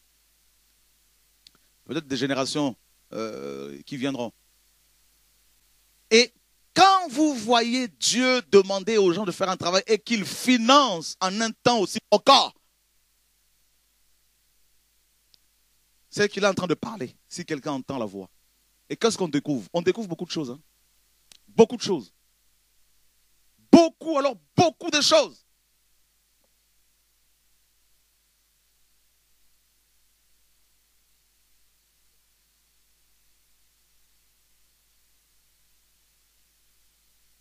Si quelqu'un, il n'a pas dit si un couple entend ma voix. Non. Non. Quand l'autre est sorti, il est sorti, il est sorti, sa femme n'a pas voulu le suivre. Mais l'autre a poursuivi son chemin. Le message actuel. Mes amis, c'est un message d'abord individuel. D'accord? Chacun le reçoit dans son cœur et les gens sont en train de sortir. Il y a des jeunes frères qui sont avec nous qui dirigent une assemblée, qui dirigeaient une, des assemblées depuis des années, où l'on voit quand même la main de Dieu. Ils ont entendu ce message de la part du Seigneur, Dieu leur a parlé. Ils ont rassemblé les frères et sœurs, ils leur ont dit, on passe à autre chose. Et ils m'ont dit, il y en a un qui m'a dit, les gens pleuraient.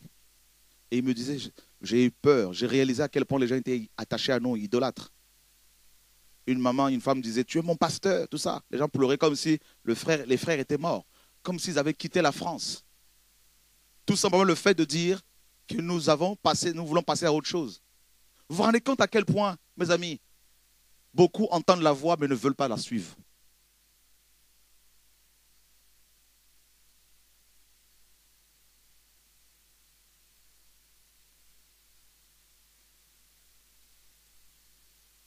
Le Seigneur est sorti des assemblées. Le Seigneur est sorti même des bâtiments d'église, même des maisons d'église. Croyez-moi. Est sorti. Même, je dirais, dans beaucoup d'endroits, il n'a jamais été. Non. C'est dur de parler comme ça, les gens. C'est dur. Je vais vous dire une chose. Qu'est-ce qui prouve que Dieu est là quelque part Qu'est-ce qui prouve que Dieu est quelque part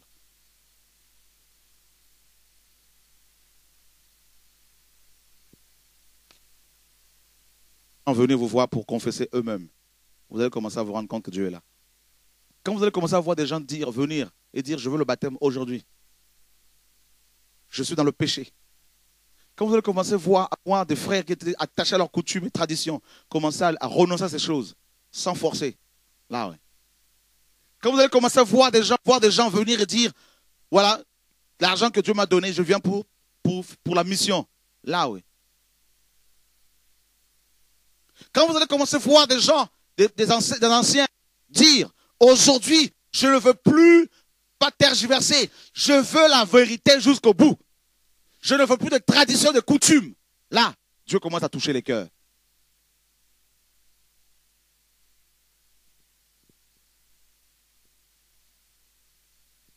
il n'y a plus Dieu dans, les, dans, les, dans beaucoup, il n'y a plus Dieu, c'est fini, c'est les émotions, il n'y a plus Dieu, c'est fini, c'est fini ça.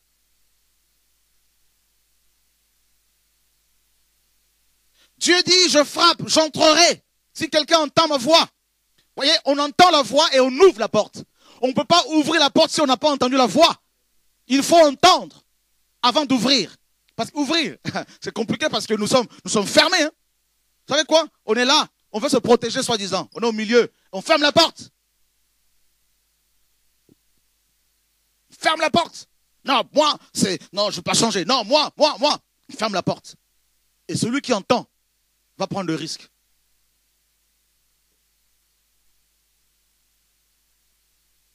Celui qui entend la voix de Dieu, la foi vient de ce qu'on entend. Et ce qu'on entend, on, connaît ce passage, vient de la parole de Dieu. Qu'est-ce que Dieu te dit? Qu'est-ce que Dieu dit au jour d'aujourd'hui? Oh chrétien, ce n'est pas l'heure de dire aux gens, on va prendre un plus grand bâtiment pour remplir le monde là-dedans, pour le remplir du monde. Non, non, c'est fini ça. C'est fini. L'enjeu est tellement grand. Dieu veut que ce message, que l'évangile atteigne des nations. Dieu ne veut pas que les églises s'enferment. Non. Dieu n'a jamais voulu de cela.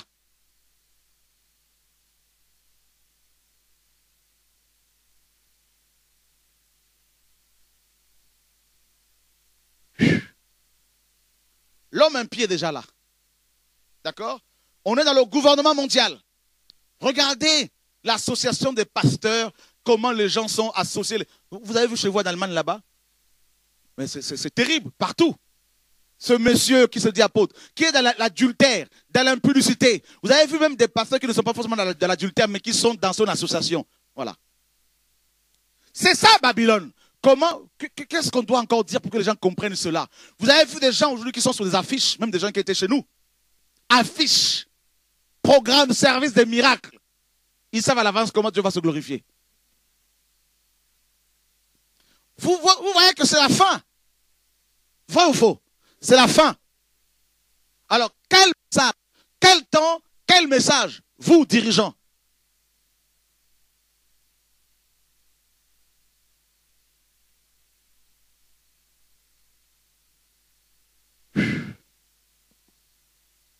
Quand le Seigneur nous a fait faire ce travail, il y a des choses qu'on découvre, des choses qu'on a découvertes. On se dit, mais c'est terrible, Seigneur. C'est terrible. Mais c'est terrible. Quand on prend Jean, Jean 8, 24, le Seigneur dit à la femme, il dit, si vous ne croyez pas que je suis, même Martin est venu, Martin a rajouté, si vous ne croyez pas que, il a rajouté, si vous ne croyez pas, il a, rajouté, au lieu de dire, si vous ne croyez pas que je suis, il a rajouté, si vous ne croyez pas que je suis l'envoyé de Dieu, il a rajouté l'envoyé de Dieu. Vous vous rendez compte? Martin, pour faire propre en français, si vous ne croyez pas, il a rajouté, je suis l'envoyé, donc l'envoyé de Dieu. Ça a forcé quelque chose de très capital. Là où Jésus disait, si vous ne croyez pas que je suis, Second a rajouté, si vous ne croyez pas, il a rajouté ce. Et on retrouve ça dans beaucoup d'endroits. On se dit, Seigneur, je révèle à mon peuple mon nom. Je suis Yahweh. Et on rajoute des choses pour faire beau, plus beau en français.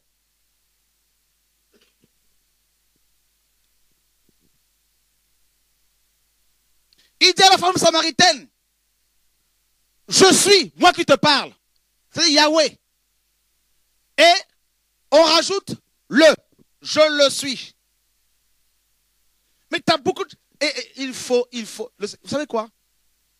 Le message, le message du temps, le message d'aujourd'hui, là, c'est quoi? Ce n'est plus, oh, euh, je ne sais pas quoi, la puissance. Les gens doivent expérimenter Jésus-Christ, doivent rencontrer Jésus-Christ de Nazareth. Et ce n'est pas le Jésus là qui ne fait rien. Je ne parle pas de ce Jésus. Je parle de Jésus qui, de la Bible. Hein. Et quand il passe quelque, part, il y a des choses qui se passent. Voyez? Je ne parle. Touché par Jésus et tu restes enfermé 3-4 ans dans un bâtiment. Non, arrêtez ça, mes amis là. Un apôtre ne reste pas 4 ans dans un bâtiment. Ce n'est pas un apôtre, c'est un voleur. C'est un gourou.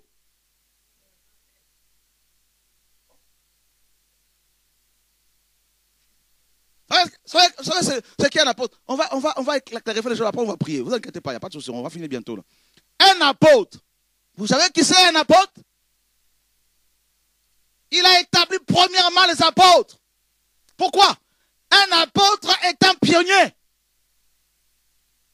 C'est quelqu'un qui ouvre la porte. C'est quelqu'un qui fraye le chemin. C'est un, c'est un,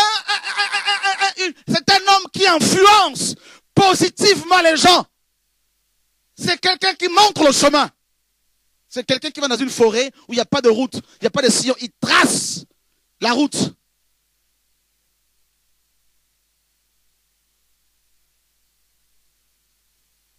C'est un défenseur de la saine doctrine.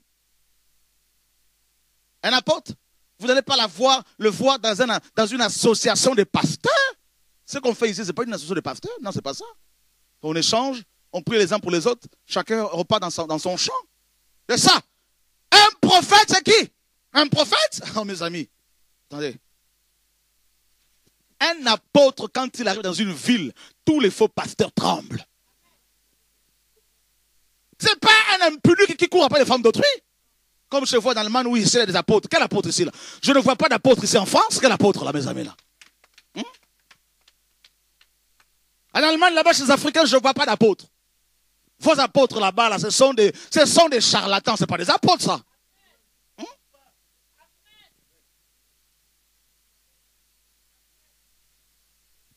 Paul dit, la Bible dit dans Acte, ces hommes qui ont bouleversé le monde sont arrivés jusqu'ici. Là où Jésus est révélé, les apôtres authentiques sont suscités, frères et sœurs.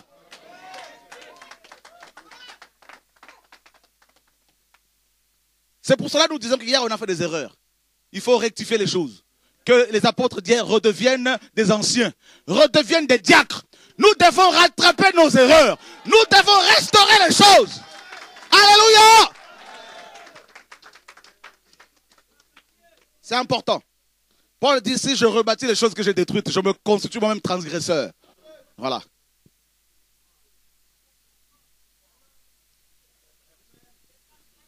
Il faut une réforme.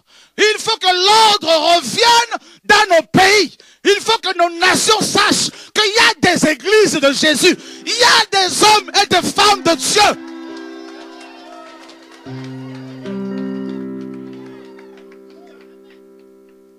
L'heure est arrivée. Au nom de Yeshua. La Bible nous dit dans proverbe 11, il y a deux prophètes qui font trembler, qui feront trembler la terre entière.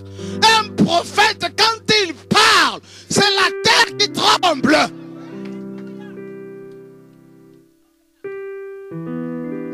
Homme de Dieu, ta venue annonce-t-elle quelque chose de bon Samuel arrive à Bethléem, les anciens qui étaient devenus des gourous. Quand Samuel est arrivé, ils ont dit trembler. Un prophète, quand il vient, il vient avec le, le ainsi dit Yahweh. Il parle avec le temps. Oh, prophète ivoirien. Quel prophète ivoirien ici, là? Des prophètes qui sont avec les autres prophètes, là. Ça, c'est pas. Vous avez vu Élie dans une association des prophètes? Jérémie était solitaire. Esaïe était solitaire. Élie était solitaire. Les prophètes sont des hommes et des femmes solitaires. La prophétesse Hulda était seule dans son coin. Elle parlait de la part de Dieu. Il est temps que l'ordre revienne. Moi-même, j'enlève le titre d'apôtre là. Je suis frère. Il faut que l'on crie. Il faut que tout le monde revienne là. Nous devons, frère, casser tout ce qui a été mal construit. Vas-y. Alléluia.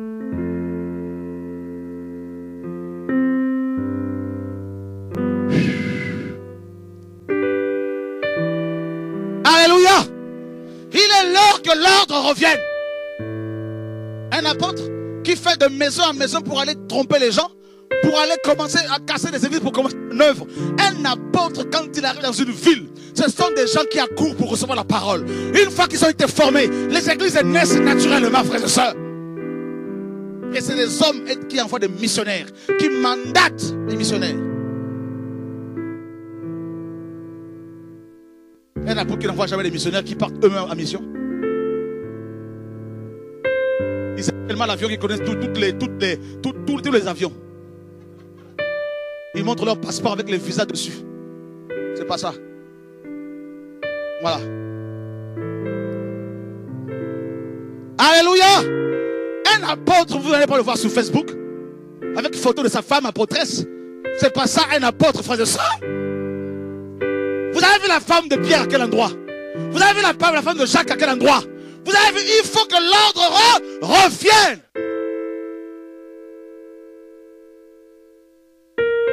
Vous allez enlever vos titres vous-même. Ce n'est pas, pas le Seigneur. Vous, allez prendre ces titres, vous allez mettre ça sur les. Là on met les manteaux, là, vous allez déposer ça calmement. Là. Qu'on redevienne simple. Travailler correctement.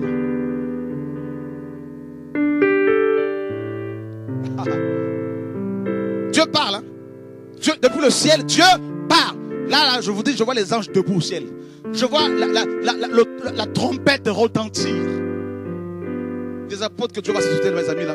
Ils vont aller dans les villes, ils vont aller fermer des bâtiments de, faux prophètes, là. Ils vont arriver, ils vont fermer, ils vont aller aux Antilles, ils vont proclamer Je ferme cette, assemblée. Je ferme cette assemblée.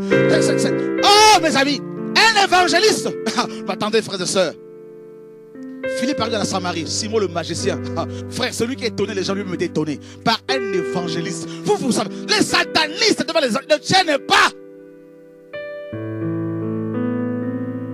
Évangéliste, tu fais, tu fais un séminaire 500 euros, évangéliste, tu n'es plus un évangéliste, tu es un commerçant. Un évangéliste dit aux, autres que ton argent périsse avec toi. Alléluia. Ah, je vous dis, Dieu va revêtir des nouveaux, des gens avec des manteaux tellement puissants que ces hommes et ces femmes n'auront pas le choix que de dire tout ce que Dieu va dire. Un pasteur, un berger, un berger, non. Un berger, non. Dieu pleure, Dieu souffre à cause de ces âmes. Dieu pleure, Dieu souffre à cause de ces âmes qui sont. Il y a le sang qui coule dans les assemblées. Il y a son peuple qui a été gorgé. Ces enfants sont devenus les proies des charlatans, les proies des faux. Et Dieu, depuis le ciel, regarde qui sont ceux qui peuvent se lever et parler en tant qu'apôtres?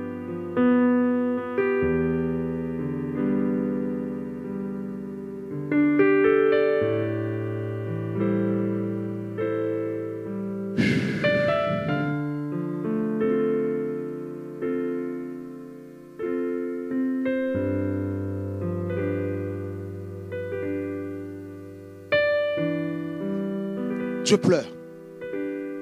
Vous avez vu ce nombre de femmes qui sont violées par des pasteurs? Vous avez vu ce nombre de frères, des couples qui sont brisés? Vous voyez ce nombre de jeunes qui sont détournés? Vous avez vu ce nombre d'adorateurs qu'on encourage à adorer même les hommes? Vous avez vu le nombre de prophètes que Dieu a suscité? Accepte que des, hommes s'agenouillent devant eux maintenant aujourd'hui. On leur met le tapis rouge comme horreur aujourd'hui, ça me fait pleurer. Comment horreur aurait pu tomber si bas? Tapis rouge. Oh non, ça c'est pas un prophète. Un prophète de Yahweh. Moïse a, refusé la gloire de l'Égypte. Prions pour cet homme, mes amis, que Dieu le ramène à la raison si c'est vraiment lui qui l'a appelé. Ça fait mal. Oh Dieu. Un prophète authentique. Les faux pasteurs ne peuvent pas le supporter. Tout le monde se lève pour le tuer tuons-le avec la langue, comme avec Jérémie. Voilà. Parce que la Bible nous dit que Amos, on disait d'Amos que ses paroles dérangeaient. Le pays ne pouvait plus supporter sa parole. La parole d'un prophète dérange les nations.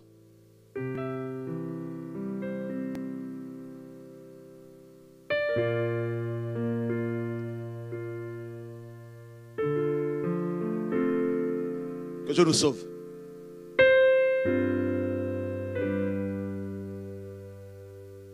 Dieu souffre. Les gens sont accrochés plus à leurs assemblées au lieu de s'accrocher au Seigneur pour aller répondre à l'appel. Il y a eu un appel urgent en ce moment-là. Il y a eu une urgence, mes amis. Là. Il y a eu une urgence parce que des millions d'âmes vont en enfer. Il y a eu une urgence au jour d'aujourd'hui. Il y a eu une urgence. Les faux pasteurs s'associent de plus en plus. Ils s'unissent de plus en plus. Parce qu'ils ont tous un seul, les intérêts communs. Mais les enfants de Dieu, que font-ils? Les véritables envoyés, que font-ils? Les véritables apôtres, que font-ils? Que font-ils? Beaucoup sont encore dans les traditions, les coutumes d'hommes. Il est l'heure de sortir de là. Il est l'heure. Il est l'heure. Il est l'heure. Je dis au Seigneur, pour l'amour de ton royaume, pour, pour ton amour, pour l'amour des âmes, je préfère qu'on m'insulte. Je préfère être seul. Je préfère être lapidé. Mais je ne vendrai jamais la vérité. Je préfère ton amitié que l'amitié des hommes. Je ne lâcherai jamais ta vérité. Je n'abandonnerai jamais la parole. Jamais l'évangile. Jamais, jamais. Si tu aimes Dieu, c'est le temps de prendre position. Si tu aimes ton Dieu, pasteur, prophète, c'est le temps de se... Rappelle-toi quand Dieu t'a touché. Rappelle-toi quand tu t'es converti. Tu n'étais pas encore pasteur. Tu étais zélé. Tu craignais Dieu. Tu priais, tu jeûnais. Tu lisais la parole de Dieu. Depuis que tu es devenu pasteur, à cause des gens qui t'entourent, tu commences à changer de langage. Souviens-toi, ma soeur, comment tu priais avant ton, avant ton mariage. Souviens-toi, Dieu te dit. Souviens-toi, mon fils, avant ta, conversion, quand tu es, j'étais touché, souviens-toi comment tu me suivais partout. Souviens-toi. L'heure est arrivée.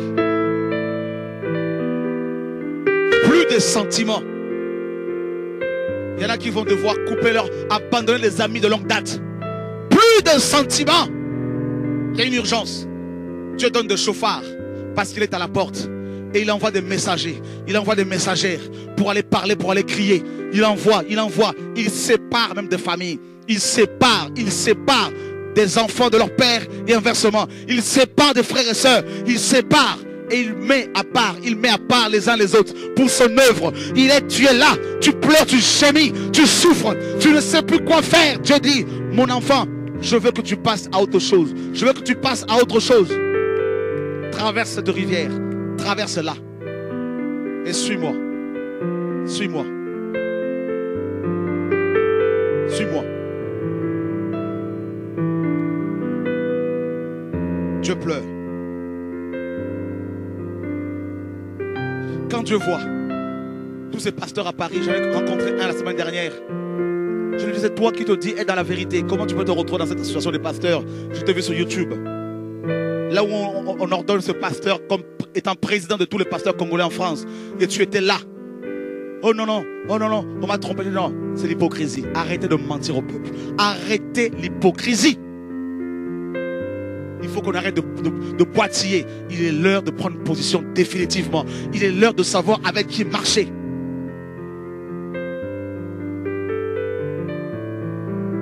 Vous aimez Dieu?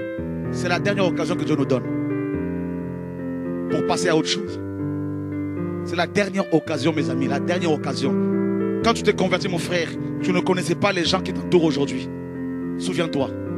Ne laisse aucune culture t'influencer. Ne laisse aucun, ami dans ton assemblée t'influencer. L'heure est arrivée. Dieu te dit, il est temps que tu prennes position maintenant pour moi. Il est l'heure maintenant que tu dises les choses que je te montrais. Il est l'heure maintenant que tu ouvres ta bouche.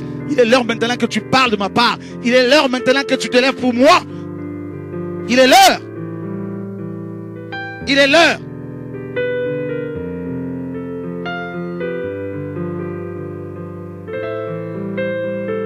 Il y en a pour parler, Dieu va les sortir des assemblées. Pour qu'ils aient la liberté de, dire les choses, de parler de la part du Seigneur. Dieu va les sortir de ces, influences-là pour pouvoir parler de sa part. Il frappe à la porte. Il frappe à ta porte. Il frappe à la porte de ton cœur, de ton âme. Il t'a appelé pour des choses beaucoup plus grandes que tu le penses, que tu le crois. On a voulu changer la vision que Dieu t'a donnée. On a voulu t'influencer négativement. On a voulu que tu changes de langage. Tu as, tu avais le feu quand tu t'es converti. Tu vas dans telle assemblée, dans cette assemblée. On a commencé à te modeler. On a commencé à te faire conformer à cette assemblée. On a commencé à te, à te mettre dans un moule pour que tu aies le même langage que tout le monde. Dieu dit, il est l'heure maintenant. Il est l'heure. Il est l'heure. Il est l'heure. Il est l'heure. Il est temps. Et tu le sais au fond de toi. Tu le sais. Tu as vu l'Europe? Les portes de l'Europe sont ouvertes. Les portes des nations sont ouvertes. Il est l'heure. Il est l'heure pour toi. Il est l'heure pour toi. Il est l'heure pour toi. Il est l'heure. Il est l'heure. que tu parles selon la vérité, que tu dises la vérité, que tu dises les choses devant les gens. Dieu dit à Jérémie, si tu trembles, je te ferai trembler. Oui. Vous savez le nombre d'amis qu'on a perdu? Tu as travaillé pendant, pendant quelques temps comme pasteur, alors que Dieu t'appelle à la fonction apostolique.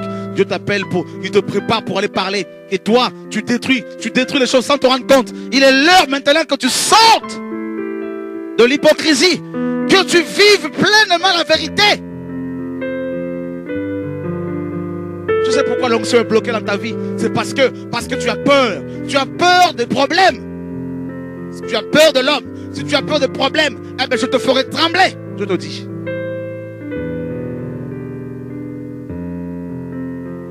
Il est l'heure. Voilà pourquoi il te parle beaucoup en songe. Voilà pourquoi il te donne des songes des visions. Parce que tu es Élie. Tu as, l'autorité d'Élie pour pouvoir parler de la part du Seigneur. Tu, tu, comme Jean-Baptiste pour pouvoir parler de sa part. Il y a des âmes qui doivent être arrachées de l'enfer. Oui.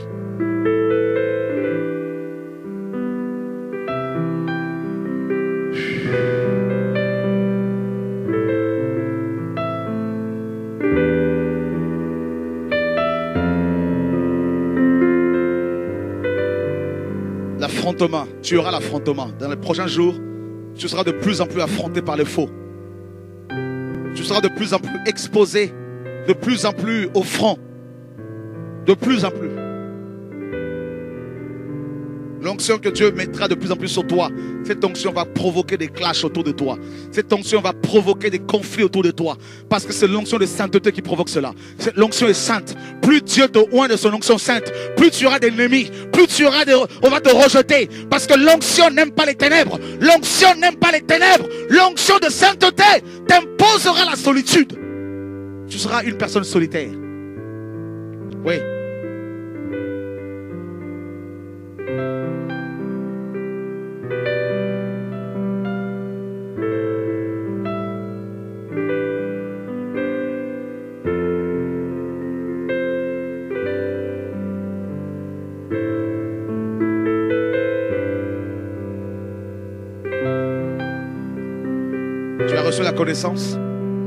Tu as médité beaucoup la parole.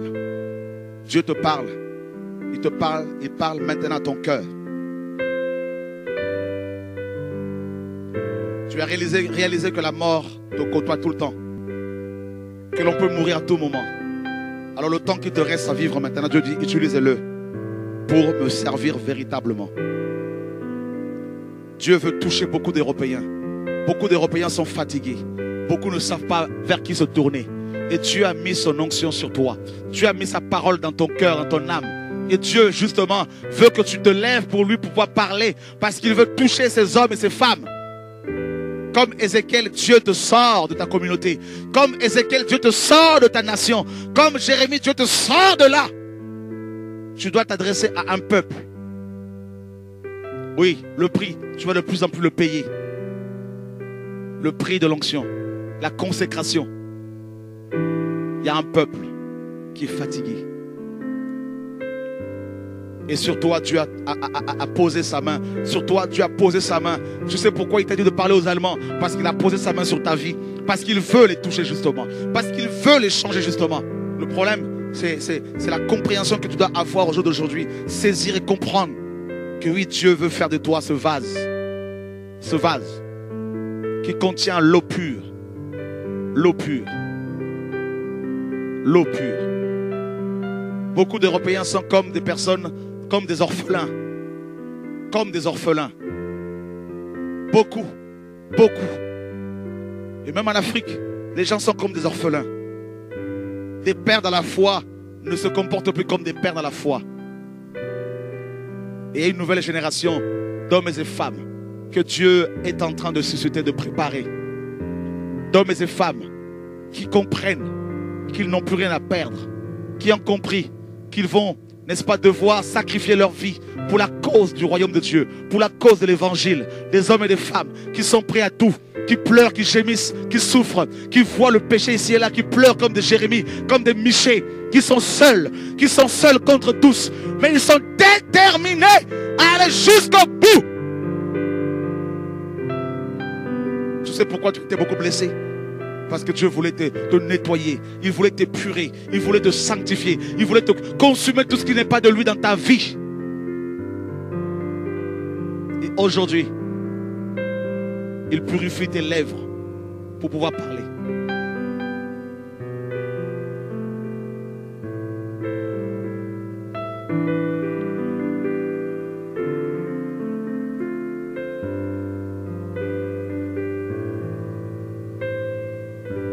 Des pasteurs qui voudraient confesser la sorcellerie, confesser l'adultère, mais ils ne savent pas comment. Ils ne voient pas des gens avec une onction pure pouvoir prier pour eux. Alors ils restent dans leur, dans péché et ils souffrent ils pleurent. Il se trouve que toi, Dieu t'appelle justement, te prépare pour ces choses-là. Parce que Dieu veut libérer tous ces gens. Frères et sœurs, il nous reste quelques secondes seulement avant le retour du Mashiach. C'est fini. On n'a plus de temps.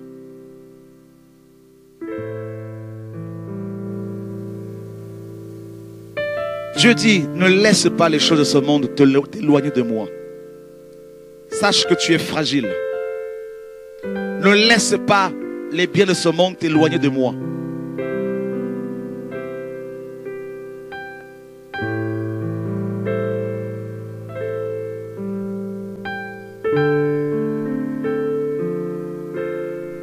Il y a une soif. Ne voyez-vous pas qu'il y a une soif? Des chrétiens qui viennent de loin pour entendre la parole que vous annoncez. Les gens ont soif. Les gens ont soif. Père, nous voici devant ton trône. Guéris nos cœurs. Nous voulons te demander pardon pour nos péchés. Nous voulons nous repentir devant ton trône, Père. Papa, sauve-nous.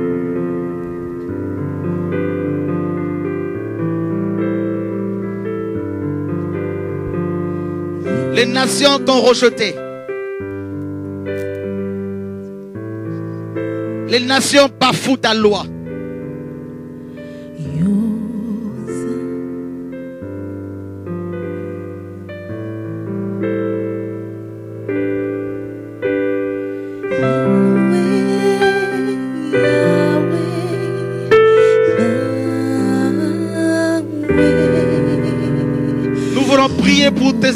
Seigneur, pour les assemblées.